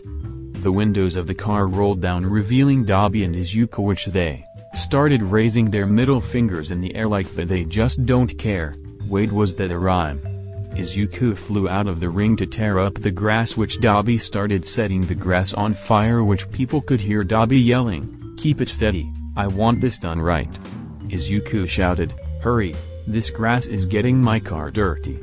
Dabi yelled, you have money to clean this car, better yet you, can replace this car with another one. The two drove around the ring to make some words and they stopped which Dabi yelled, hey Endeavor, this is a message to you. The camera got to an angle to see the words they wrote which read, Fuck you dad as Izuku looked at Kyoka to say, Nice to see you again, did you get hurt after I left? Kyoka blushed, no. Dabi looked at his Izuku and though about how much trouble he was getting himself into which then Midnight and Endeavor appeared in front of the two. Izuku said, Okay Dabi you get your dad and I get my favorite MILF. Dabi said, Stop. You're going to get hurt one day for saying that shit. Izuku pulled out his bullwhip and walked to Midnight, I haven't touched tips with you in a while. Midnight said, Era era, little Shota has been a bad boy for a while now. Izuku said, whip so good that I will call you on San. Midnight said, you can call me whatever you want little Shota. Endeavor and Dabi were equally disturbed by their conversion, which Dabi said, quit it Izuku. You are making this weirder than it needs to be. Izuku said, but I was getting warmed up. Fine I'll stop. Endeavor asked, who are you? Dabi smirked, I guess you really can't recognize your own son. Well doesn't matter I just want to kick your ass. Endeavor in shock, Toya? Dabi chuckled, then more heroes arrived which Izuku said, I'm sorry in advance, I believe in true gender equality. Izuku punched Midnight in the gut and hauled ass into his car and Dabi threw a fireball at Endeavor to follow Izuku. They got in the car to drive around the field and the ring which Izuku called Kurogiri to get them the hell out of the stadium. They saw a portal and drove in it to appear in front of Izuku's warehouses which Dabi asked, where are we? Izuku said, these are my warehouses that I do stuff in and they're labeled as such. The first building had a sign reading, Rober Multiplicat which Dabi asked, what the hell does that say? Izuku, said, that is Latin for powerless which that is Kai's second factory which I oversee. Dabi looked at the other ones reading Armagnus, T. Dum, Bibliotheca, Cybus, and they stopped at Civis Seditious T. Turbulentas which, Dabi asked, okay, what does that one say? Izuku said, that one means anarchist believe it or not. Dabi in shock, no. Those four words means anarchist, Izuku said, Google Translate if you don't believe me.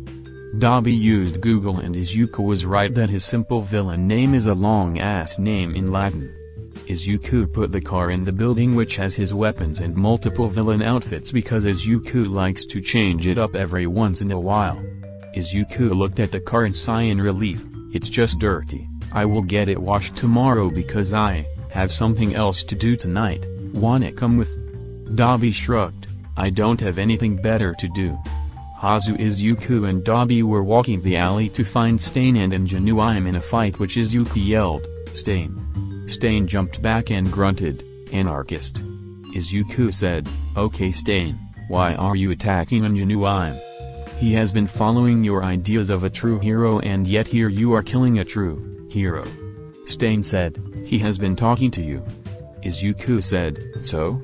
He wants help capturing villains and I give him my quirk analysis. Is that wrong for people to ask? I mean you kill people and I don't so who is the bad guy here? I mean you are killing fake heroes but murder is still murder, while I haven't killed a single person yet. Stain grunted, why are you always right? Izuku gave Stain some papers and said, these are the fakes you should kill, now go get them. Stain jumped and quickly ran away which Izuku looked at Ingenium to say, he won't kill yet because he needs to find them in time to plan. I brought the quirk analysis you wanted. Ingenium got them, I hate you, but I need your help with stuff like this, so what is the payment? Izuku chuckled, for saving your life, and getting you the information, I will say about favor for later in my life. The two walked off which Dabi said, that was neat seeing Stain so close. Izuku said, He is an interesting man don't get me wrong. It's just to me. He is a weirdo. Dabi chuckled, so what is next? Izuku said, I got to go shopping for a gift for my girl. Dabi laughed, you got a girlfriend, but you still flirt with other women. Izuku said, I would like to think of it as engaging in a lovely conversion. The two walked around until they saw a group of thugs surrounding a teen girl, which Izuku said, damn that is how I met Melissa. Time to see who I meet this time. Dabi just sat back to watch the show because he knows Izuku can take care of himself. Izuku found the leader and beat the shit out of him. After the rest ran off he realized he saved Kyoka which he said, I saved you again. I guess I'm some sort of knight in shining armor. Well are you alright? Kyoka blushed, yes, I'm alright. Izuku asked, how did you end up here? Kyoka explained her reason of meeting her friends at the mall nearby which Izuku offered to walk her there. Which Dabi went along because he would be burning people alive if Izuku wasn't there and that gets boring after a while. The escort her to the mall which she thanked Izuku and gave her number to him which Dabi said, look at this player here with two girls here. Izuku chuckled, Dabi, you are just jealous that I can afford such thing. The two went the place they would do their art which is Izuku pulled out a secret door which had their spray paint and various gold and other valuable metals. Dabi spray painted a picture of Endeavor sucking a black dick which is Izuku took a pic and sent it to the dark net. Then as Izuku said, I want to use fire to make a trophy for your dad, I will be trophy that reads number 1 worst dad, which it will be a penis, but it will have number 1 on it. Dabi smiled, I love it. The two got to work and after a while they dropped it off and headed to the alleys to find the Naruhata vigilantes which Izuku was prepared to help train them. They arrived to them which Knuckle Duster looked at Izuku to asked, So, you broke All Might's leg Izuku pulled out his blood-covered razor wire bat, yep and this is proof. Knuckle Duster chuckled, well you are proof that our kind shouldn't be messed with. Which Izuku agreed on. That statement which Dabi sat down to watch how this was going to work out. Izuku gave Crawler a run for his money by his many tricks. Crawler said, Why do you have so many weapons on you? Izuku said, I want to be ready for any situation that I face and if there is one thing, I learned from the underworld is that you must never fight fair. Heroes try to fight me fair, but I always have the advantage when it comes to fights. Izuku pulled out his gun and his quirk erasing bullets. This right here is my trump card, the quirk erasing bullets. Once I erase the quirks, I have full advantage because they don't fight quirkless and I do. Knuckle Duster agreed on Izuku's statement which Crawler was understanding the importance of dirty fighting in their fights which Izuku and Dabi left. Dabi said, they are an interesting group. Izuku said, I like them, misfits trying to help their community and arrest the nearby villains that the heroes can get. That is courage right there. The two continued their way into the night which is Izuku invited Dabi to his new apartment which had an extra bedroom which is Izuku gave that to Dabi for him to sleep in for the night. Miss Midoriya learned about Dabi's story which she got upset that someone could do something that bad to their family. Dabi liked Miss Midoriya because she reminded him of his mom before the thing with his little brother Shoto after dinner and watched the news of Izuku and Dabi causing a mess at the sports festival which ended with Midnight punched in the gut, Endeavor burnt on his arm, Kamui Woods burnt as well, and few other heroes unable to catch the two. Everyone went to bed to call it today which is Izuku put Kyoka's number on his phone and said, this won't bite me in the ass later, I'm real sure. Chapter 7 Low profile low profile our boy is out here grinding and he does whatever he wants but has the government and heroes coming after him. What is his villain ranking at this point and what makes him different from a chaotic evil? Let's get down to business. Izuku just left the bank with Danjuro and Manami with a ton of cash and gold, enjoying an easy break-in and escape. Kurogiri helped them with the transport, Danjuro being the star of the show. Manami being the camera girl and actress, and Izuku being a special guest to the show just stealing a lot of money with ease. Their internet show exploded when Izuku came in to help by giving them jobs that will help boost popularity and his appearance helped them get a lot of quirkless fans. Ever since the USJ and the sports festival, the new updated villain list has Izuku as an S-class villain which makes him the first quirkless villain to get such a rank. Izuku was the first quirkless villain to get a class rank and this was now another trophy he can add to his wall. Izuku was now counting money and separating the pay because Izuku is a man of his word and believes in fair pay. He gave everyone a fair share of splitting the pay which Danjuro and Manami got their half while Izuku and Kurogiri got their half. Everyone knew that Izuku is a man of his word unless his life was in serious danger and that he always pursued pleasure above all else. But sometimes it, not his pleasure he pursues. Sometimes he likes to see people find their pleasure and would help them. Izuku was not a selfish person, he likes to share and help out others. Izuku shook Danjuro's hand, pleasure doing business with you, I hope we continue to work with each other. Danjuro smiled, I hope so too. Izuku left to walk around in the alleys of Hosu to find Spinner which he's out, looking for Stain, killing thugs, or stalking and killing fake heroes. Izuku at first didn't like or hate Spinner because he reminded Izuku of Stain which Izuku didn't like or hate Stain. To Izuku, Stain had a good ideology, but he was weird and creepy which Spinner was a little less creepy. To Stain, Izuku was a villain that had information to help him and Izuku was too nice to be a villain which, confused him the most. Stain never felt comfortable around Izuku because he was nice but could beat the shit out of a person with ease if he was angered. The two never really sat down and had a talk because their talks would be just trade talks whereas Izuku gave Stain information on fake heroes that Izuku believed needed to be out of the picture because they agreed that the system was full of fake heroes that needed to be taken care of. But the true differences were that Izuku hated governments of all kinds because they would discriminate him and his kind no matter what and believed All Might was one of the fake heroes. Izuku found Spinner who just killed a fake hero which Izuku said, looks like someone is having fun. Spinner smirked, you do have your ways of finding people. Izuku, chuckled, well let head out to take care of some business. The two headed off to go do their personal business, the one thing they had in common was that the quirkless and mutant quirked people were looked down by everyone else. There is a hierarchy in this world people don't talk about, but everyone knows about the quirk hierarchy as it's commonly called. The top of the hierarchy is the emitters because they are still human but with the quirk and under them was the transformation quirks which made the users a mutant for a short time.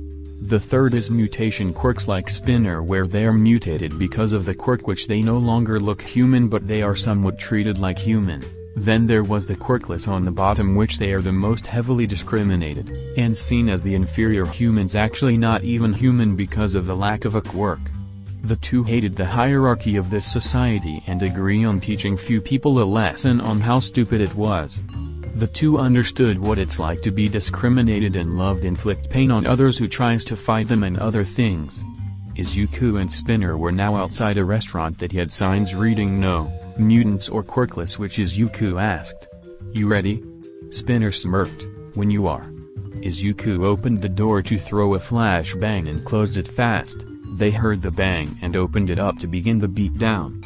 Izuku gave Spinner one of his bats because it was more fun to break bones and make the enemy suffer than killing them.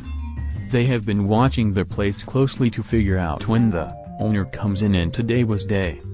They beat up the workers, some of the customers, and the owner, but the owner was also tied up and stripped naked which Izuku and Spinner put him on the roof of the place.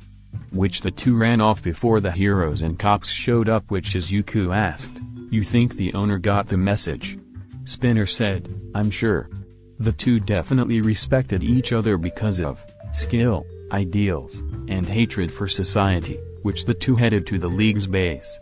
Izuku is going to have a meeting with Kai, Sensei, and Tomura which makes four S-class ranked villains in one room to discuss their future plans. Izuku has been their bridge in working for both of them. He oversees Kai's second factory and Sensei's second Nomu factory making him a powerful person. Izuku got warped into the Sensei's room which everyone was there, Izuku said, Sensei, K, Tomura, it's always great to see you three. The three welcomed him which Sensei said, so here we are. The most powerful and influenced villains of today are now here to talk about the future of Japan. I would like to discuss our first objective. All Might and his successor. The three nodded then Sensei continued, I'm not strong as I used to be, I can only leave this place for three hours a day. Kai interrupted, if you don't mind, I would like to use my quirk to heal you back to full health. Sensei nodded which used his quirk to heal Sensei back to full health which Tomura with wide eyes said, Sensei. Izuku looked at Sensei to say, damn you must have been stealing girls' hearts back in the day. Sensei, chuckled at Izuku's response then said, thank you Izuku and thank you Overhaul for your healing. Then everyone got settled which Sensei said, I expect All Might and his allies to find us and destroy us. I want to keep a low profile for a while but to continue what we are doing, so Izuku we need you to tone it down on your activities for a little bit. Like maybe put your full attention on the factories, money flow, and recruitment. Izuku sighed, yes sensei, I understand. Kai said, don't worry Izuku, it's only for a short time but we also need you to increase production on both factories and recruitment. We know you get bored and start getting in trouble so we send you challenges on how much production you should do. Izuku asked, challenges? Tomura said, I came up with the idea. If you were wondering. Izuku smiled, Tomura, you are getting smarter by the minute, it's almost scary. The three continued talks until they covered everything, which they are going to get a few more people to ally with them to make the league even more powerful. Izuku got warped to his warehouses to check the Nomu lab labeled T-Dum in the Kai's second factory, then went to his personal warehouse to check his computer for the challenges that he is given. The first challenge is to recruit at least 300 recruits quirked or quirkless, make about 5 shipping containers, the big metal ones, of the quirk erasing bullets and drugs, and 20 Nomus by the end of the week. Izuku chuckled, this is the first challenge. This is child's play to me. Three days later Izuku sent the emails to the three saying the first challenge is done, which the three responded. Sensei wrote, that was faster than expected, well I need 50 Nomus in one week. Kai wrote, excellent, I need triple that in one week. Tomura wrote, how? Well here's a challenge, 1000 recruits in one week. Izuku laughed, now that's a challenge. Izuku went to his grunts that work for him. Izuku hires the people who usually never get jobs in this world which would be the quirkless and the mutant quirks people. He went check on them and told them the new goal but told them they can have the rest of the day off. Izuku's grunts like Izuku because he doesn't discriminate and he is providing jobs for them. Also he was a nice boss who knows how to increase production without overworking them. Selling illegal arms is his business not Kai's or the League's, just his on-the-side business which he loves the money flow he was getting. The League gets money from what Izuku, Giran, and Sensei gives, and Kai gets money from the quirk erasing drugs, which Izuku pays his grunts well because he wants to keep them working to keep his operation going. The grunts left and went to tell the other grunts that they also had the rest of the day off which Izuku sat in his office calculating the sales and everything then finished to head home. Izuku came home to find Melissa, Kyoka, and his mom at the dinner table. He looked at them to say, I have so many questions, I don't know where to begin. The three got up to hug him and asked where he has been, which he explained the situation. His mom asked, so, you're not going to go around cause trouble? Izuku said, I'll still be doing illegal stuff, but I wouldn't appear on the news for a while or be out on the streets either. Melissa asked, so where do you work at, so we can visit? Izuku said, I'll let Kurogiri allow you all to be warped there if you need something or visit. Kyoka asked, are you going to be gone for another few days? Izuku said, oh yeah. I'll be gone for another few days, but I will let you three know that I'm alright and whatnot. But Kyoka, I would like to know how you got here and why you and Melissa are so familiar with my mom. Second day without Izuku Miss Midoriya was worried about her son because he hasn't showed up for two days. It reminded her of the time he ran away, she was about to go out to see where he went. The door knock she opened it up to see a blonde blue-eyed girl at the door which she asked, Can I help you? The girl asked, Is Izuku here? Ms. Midoriya looked at her, No, but I'm his mother, can I help you? The girl said, Hello Miss Midoriya, I'm Melissa. Ms. Midoriya realized who she was and teared up, my little Izuku's girlfriend. Melissa came inside which the two talked about Izuku when he was little and Miss Midoriya showed baby pictures, then they hear knocking on the door. Ms. Midoriya opened the door to see a black-haired girl with earphone jack earlobes which she asked, Is Izuku here? Ms. Midoriya cried out, My Izuku got two girlfriends. The girl got red said, No, it's not like that.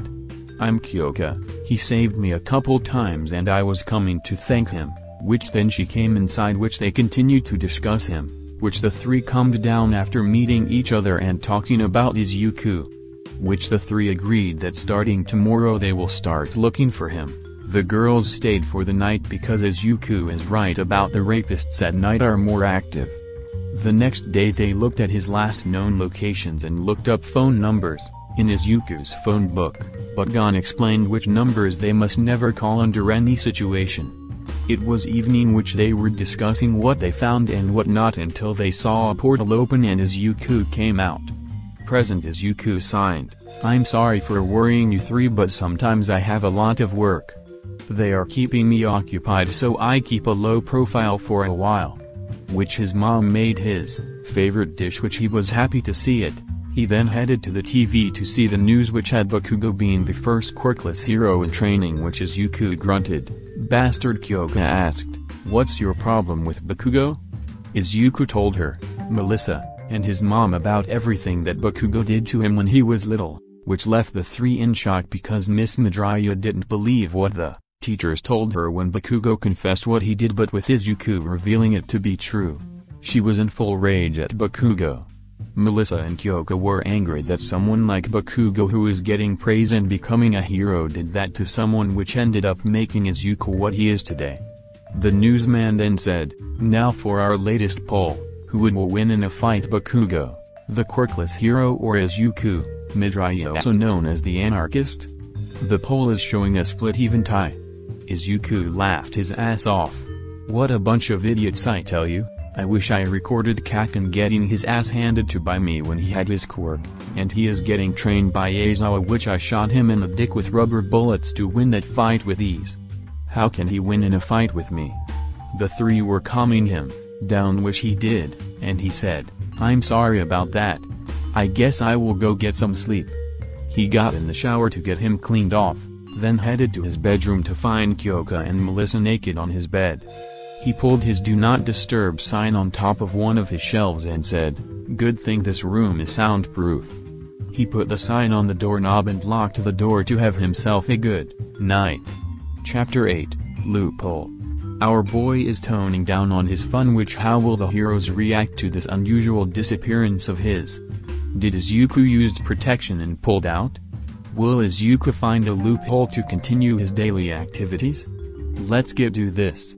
Izuku woke up to find his girlfriends in his bed which he smirked and thought to himself, it's a good thing I got condoms under the pillow for things like this, but right now I'm not getting up. He got a phone call which he grabbed it to whisper, hello? Kurogiri on the other line said, your warp portal is ready. Izuku said, give me about five minutes.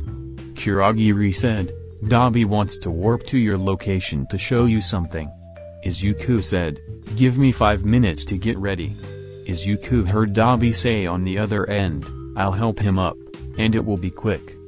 Before could say anything Kurogiri reopened a portal to his room and Dabi came through to see Izuku with the girls in his bed. Dabi with wide eyes and his jaw on the floor in shock and Izuku whispered, leave. Dabi struggled to move which then Kurogiri on the phone asked, is everything alright? Which the Kurogiri went through and gasped at the sight which Izuku whispered, get the fuck out. Which the two were about to until Tomura accidentally walked in and saw it, He was about to scream but Dabi tackled him back to the other side of the portal. Kurogiri whispered, We are very sorry. They left which Izuku managed to get out of the bed and got dressed to get warped to the base to see what Dabi want to show him. Izuku left an apology letter for the girls that he has to go back to work. Izuku walked into the portal which he said, Next time I say, give me five minutes, give me five minutes. I haven't had breakfast yet. Izuku got a bowl of cereal and he ate while Dabi showed Izuku that the heroes are on the streets and were panicked that Izuku hasn't show himself in four days now. Izuku missed his usual Monday arrest which the police were on edge that, Izuku hasn't caused havoc in three days. Izuku chuckled, if this is four days, imagine four weeks without me. The police station the top 10 pro heroes with almost fully healed All Might were with the police chiefs of the cities Izuku terrorizes, other officers, and the mayors of said cities. The chief of Hosu said, so we all know why we are here? All the heroes nodded, which Nezu appeared, to turn on the TV screen to begin the presentation. Nezu said, Izuku Midoriya, also known by most as the Anarchist, is an S-class villain who doesn't like governments of any kind and fights for quirkless and mutant rights movements. He is loved by the quirkless and has fans all across the world because he shows the world that the quirkless can be quirked heroes and villains with hard work. He is known for causing havoc, but he hasn't killed a single person in his entire villain career, he has injured many heroes and others. He is wanted for his many crimes, questioning of other supervillains, and to help the government with how to regain the minds of the quirkless. He has caused the quirkless population from committing suicide to causing crimes like him, which the government want him, to help convince the quirkless population to stop both suicides and crimes. Endeavor huffed at the last apart because he didn't care about the quirkless, which Nezu continued. He has been missing for four days now which means he or the people he works for or with plan something big. The heroes were on edge by the statement because Izuku has done a lot of things that were big but when the realize it, they were an everyday thing to him, now he is going even bigger. One of the mayors said, that is why we need to find him to stop what he is planning before he reappears with what he reveals. The heroes nodded and they began their investigation in the disappearance on Izuku Midoriya, which they were going to catch him this time. Or so they thought. Izuku's warehouse as Yuko got back, from checking the progress of the latest challenge which is Yuko was going to get it done one day earlier if his grunts continue the good work. He was getting bored from accounting and overseeing the progress, which he looked at his outfits. He had a villain outfit for everything, and every hero has seen most of them except one outfit. His first outfit he never wore, it was when he started working, for Kai. It was a black plague doctor outfit complete with the hat, red lens googles, and cane. He didn't wear it because it was a little too much and summertime was bitch if he wore it. He looked at it and thought to himself, what if I modified it? Izuku took the outfit to the table and started designing a brand new version of it to be bulletproof, element-proof, and can handle All Might's, Detroit Smash. Then a portal opened, which Melissa came out which Izuku said, Hey there. Melissa came up to kiss him which he said. Love you too she said, I brought your lunch. She handed him his lunch and looked at his new suit design to asked, what is this for? Izuku said, I had an old suit that I wanted to modify when I want to use it again, but it's outdated. Melissa made her, design which amazed Izuku, she said, that is how I would modify it. Izuku asked, you do know you stuff. I almost forgot about your dad used to make support items and suits for All Might. Then as Izuku looked at it. I guess I will take it to the shop to get my guys to make it, you want to come? Melissa nodded which is Izuku and her went to Cybus. Izuku said, the word means food, but really, it's a workshop for items and torture chambers for getting information out of people. Melissa asked, why did you call it food? Izuku said, well I can't call it workshop or torture chambers because I want to confuse people. Also, everyone here who works for me is either quirkless or has a mutant quirk just letting you know in advance. After showing her the workshop and the people who work for him, he watched her and a few others work on his new outfit which after an hour the suit was now ready. It was a black futurist plague doctor suit with a steel gray mask with red lens. Izuku put it on which the suit increased his strength and speed. The cane that came with acted like his taser baton. The suit was bulletproof and elemental proof, but most importantly it can take All Might's most powerful punch three times.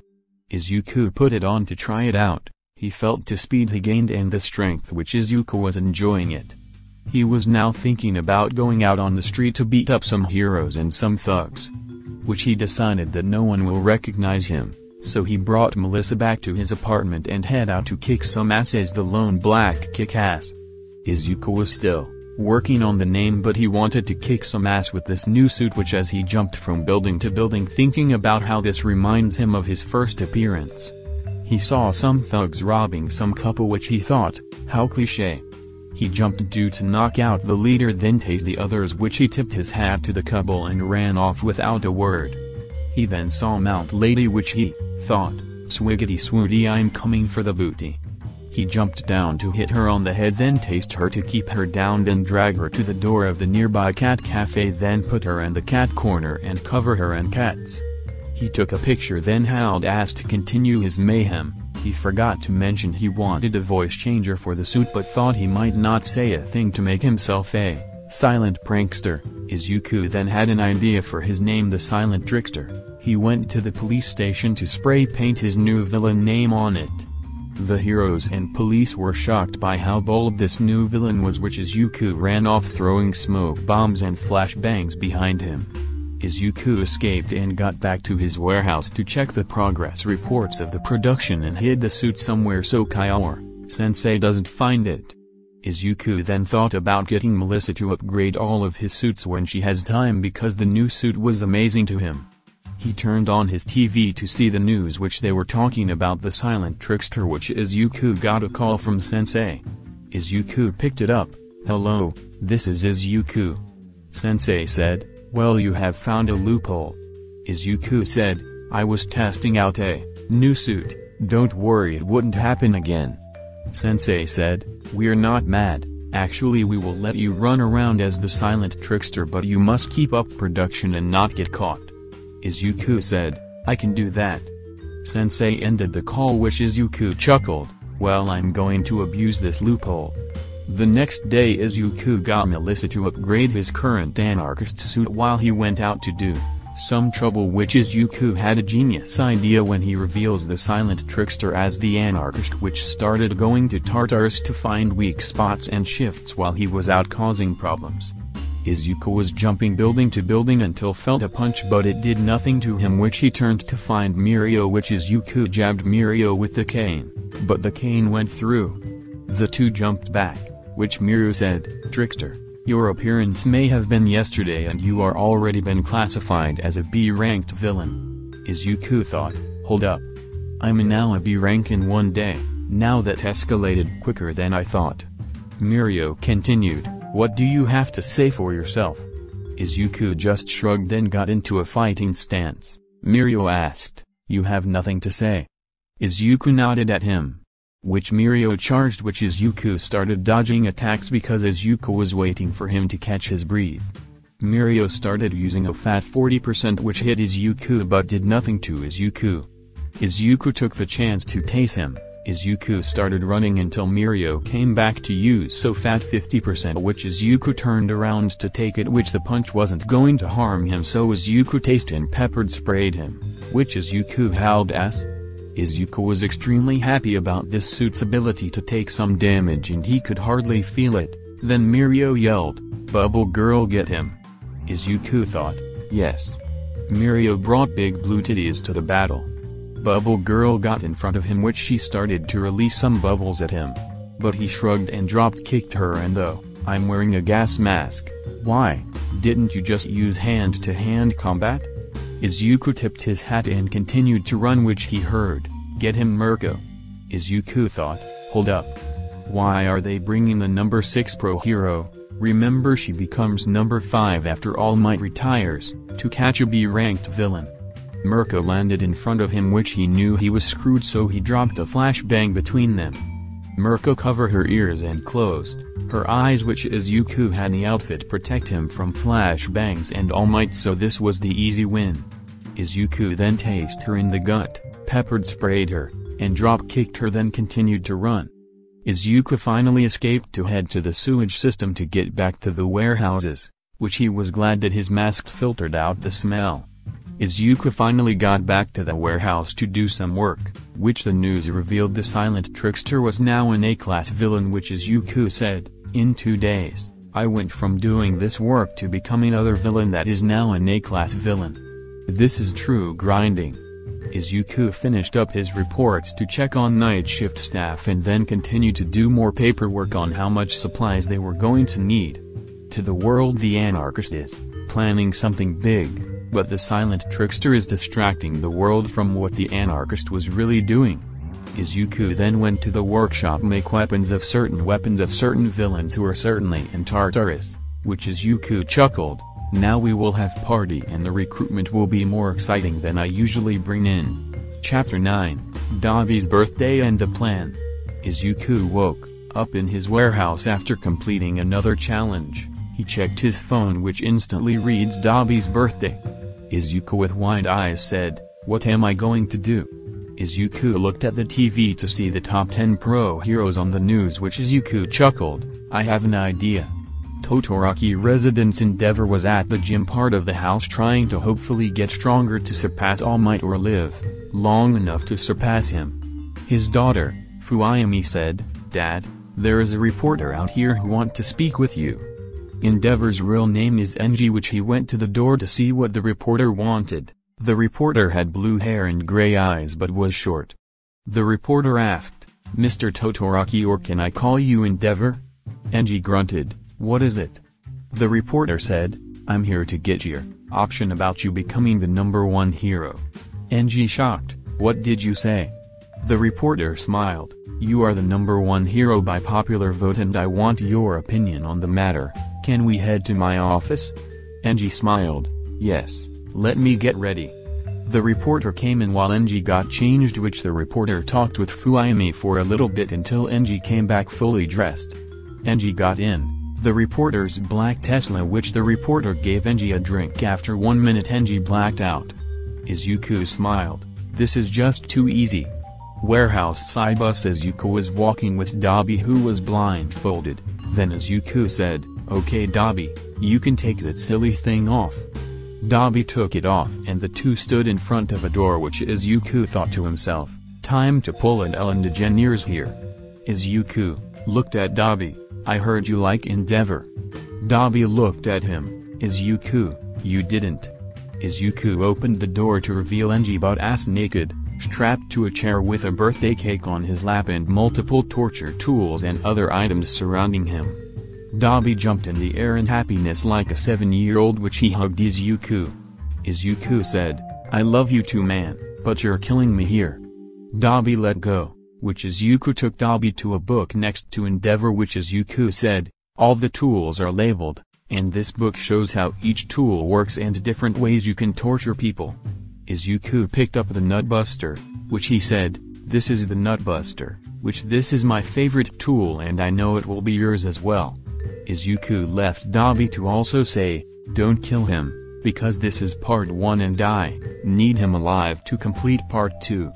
Dabi smiled, no problem. Is Izuku closed the door to let Dabi have his fun, which he had to check on the latest Nomu that is about to done.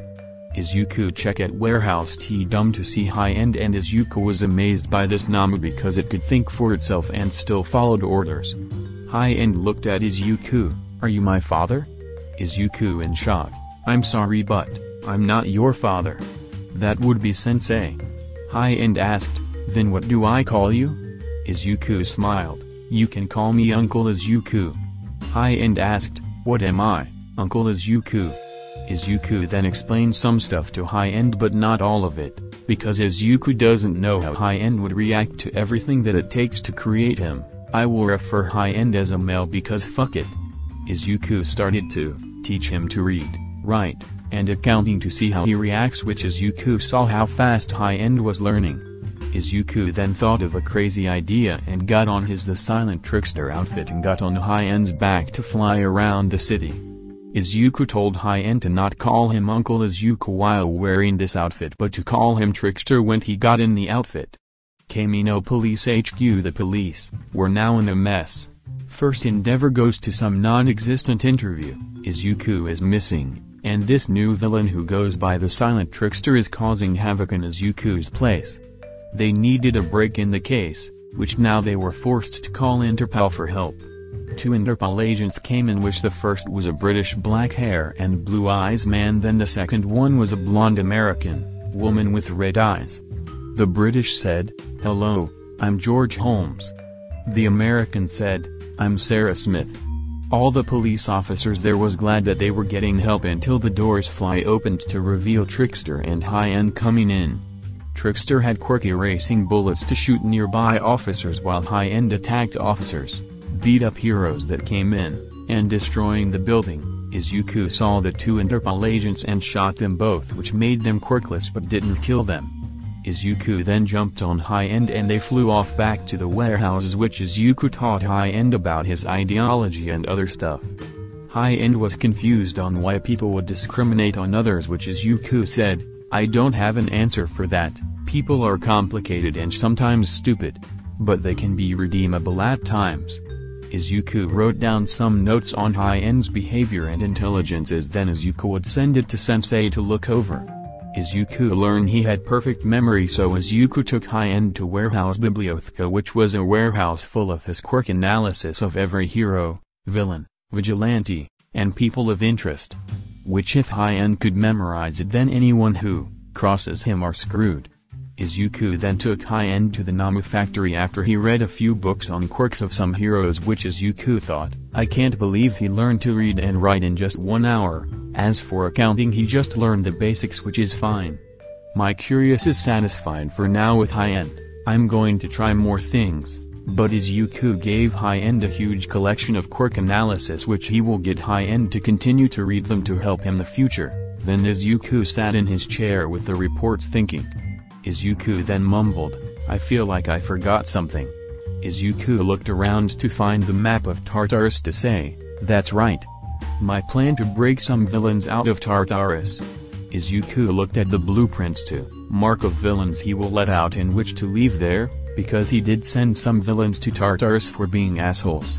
Izuku put out some lists in his warehouse for his grunts to see, which tells them who is going to go with him to transport the villains and help get them out. Izuku stopped after putting up the lists to say, okay, what am I forgetting now? He stood there for a minute then, realized, Dabi. Yeah, Dabi should be done by now. He went to the torture room Dabi was at which he opened it to find Dabi still torturing Endeavor which Izuku shrugged and thought, or maybe not. Izuku got Dabi some food and said, take a break, torturing can make a man hungry and tired. Dabi looked at his Izuku to realize he was right, then he took a short break for the food. Dabi asked, what is, the second part? Izuku chuckled, you know what I got sensei to do with my dad? Dabi smirked, I already love the idea. The two enjoyed their dinner which Dabi asked, Hey Izuku, why did you bang not only a girl you had about I don't know three dates with, give or take, and another girl you saved twice and don't know a thing about? Is Izuku smirked, what are you talking about I read Kyoka's file, and also I let things happen in my life. Dabi grunted the comment then laughed a little bit, Izuku said, Come on you should go out with Toga. Dabi looked at him, you know she's about your age and I'm like in my mid-twenties. Izuku said, age is nothing but a number. The two laughed a little bit which Dabi said, I'm already destined for prison for multiple murders but I'm not to prison for that. Izuku said, don't look at me, I'm not sticking my dick in crazy. The two left Endeavor for a little bit to take a break from smell of blood to sit on some lawn chairs. Izuku said, in two days, I'm going to break a few villains out of Tartarus as I reveal that the newly infamous villain Trickster is actually me. I'm going to be like. Izuku stood up to say, you thought Trickster was, going to be some teen. Izuku used his thumb to point at himself. But it was me, Izuku Midoriya. Dabi asked, are you sure you are allowed to do that? Izuku said, I fuck the rules on an hourly basis, I'm going to do it even if I'm not allowed to do it. Izuku sat down, I need your help as well because of security and whatnot. Dabi smiled, I'm down for that. Dabi asked why hasn't my old man used his fire yet? Izuku said, I knocked him with a new formula of the quirk erasing drug that erases quirks and puts people to sleep. Dabi chuckled a bit, then Izuku said, okay, I will let you go back your thing. Let me know when you are done, so sensei can make a nom out of him. Dabi went back to Endeavor's room, which Izuku went to his personal warehouse for a quick nap. Kamino Hospital. The hospital was flooded with patients from the massacre on the police station that Trickster attacked earlier today, which the doctors were seeing a lot of police officers and even some pro-heroes were now quirkless. Nezu and the top 10 pro-heroes, except Endeavor, looked over the security footage of the station to see what happened. They saw Trickster and High End, who actually destroyed the place and his quirks terrified the pros, which they were wondering who this trickster was. As they discussed it, Nezu looked at the footages of all the trickster appearances until Nezu saw it. Nezu said, I have reason to believe that this trickster is a fan of the anarchist. The pros looked at him, which the two now quirkless Interpol agents came in which George said, Can you explain? Nezu showed his footage of him fighting Mirio, Bubble Girl, and Mirko to say, he or she fights quirkless, carries around a cane that acts similar to the anarchist's taser baton, and doesn't hesitate to fight a woman. Mirko, still pissed from Trickster beating her ass, said, You're right, the anarchist wouldn't hesitate to do it and he has many fans across the country and world. Since he is missing for five days now, this person must be thinking that they must cause havoc in his place. George looked at the evidence, you are right. But look how he or she is taking punches. He or she must have a quirk to take those powerful punches that Lemillion is pulling. Sarah said, Trickster might have been thought to be quirkless for a long time and everyone treated him or her like a quirkless person. Then when people realized that he or she indeed have a quirk, but it was too late for an apology. Hawks said, Trickster was most likely inspirited by the anarchist which he or she share a similar pain which with the anarchist gone. There is no one to cause destruction. Everyone thought about it, George asked, I have another theory. They looked at him which he said, my theory is that the trickster might also be the anarchist. They looked at him in shock, Nezu asked, why? George showed the footage of the anarchist and the trickster side by side, then said, Look at the fighting styles, they are too similar. Then Mirko, Bubble Girl, and Mirio reported no quirk besides some sort of shock absorption or shock nullification quirk, but look at the anarchist. There was a clip of Izuku, getting a punch from Mirio with 30% of off and Izuku took it like a boss. Then he said, he may be quirkless but he is strong. He might have a suit to help him take more damage and this trickster is just nothing more than to shift our focus from his real plan. The heroes looked at this and realized he might be right but the only way to know is to catch Trickster. The heroes and Nezu let the Interpol agents go back to rest. They then got out of the hospital to plan to find this trickster and bring him to justice as well as find Izuku to do the same. All Might was thinking about Izuku and how he created him to be this monster and how he inspires many quirkless people. All Might was seeing Bakugo train with Shinso under Aizawa to fight quirkless but All Might knows that he wasn't ready to fight Izuku. Izuku can beat Bakugo in every way because Izuku has been quirkless his entire life. He had trained a lot longer than Bakugo. He defeated Bakugo who had a powerful quirk, Izuku also without armor can take Mirio's 30% off a punch and still fight.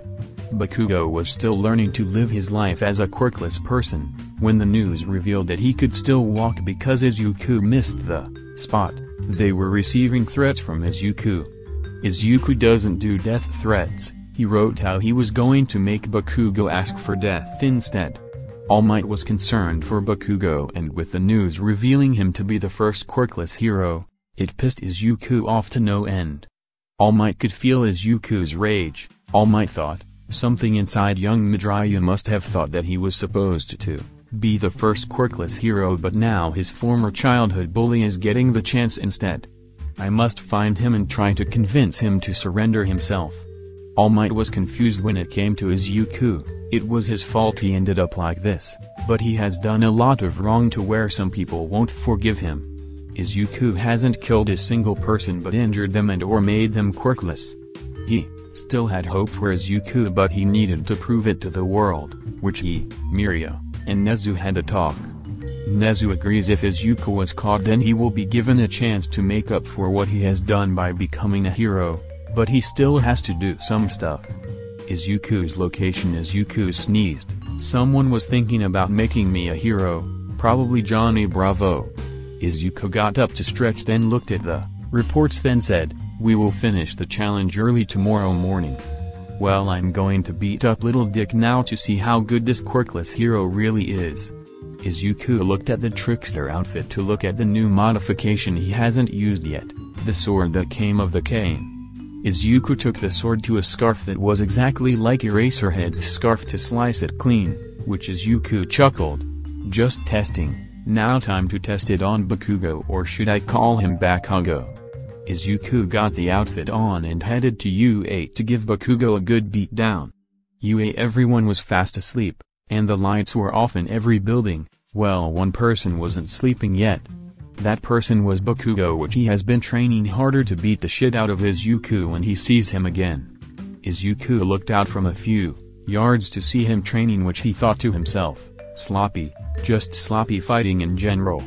Izuku pulled out a new device he had his grunts working on, the EMP grenade. The grenade was supposed to make an EMP to take out power from a 1 mile radius for 3 hours. Which Izuku pulled the pin then threw it over the walls of which it activated in midair, which Izuku jumped the wall to land on feet. Izuku looked around to see Bakugo who was now looking at him. Bakugo then used his scarf on Izuku which Izuku grabbed the scarf to then pull Bakugo toward him. Bakugo ran to him to throw a punch at him but Izuku grabbed his hand to punch him in the face. Bakugo asked, What do you want you bastard? Izuku was the silent trickster right now so he just pointed at him with his finger, which, Bakugo shouted, I'm not giving up without a fight.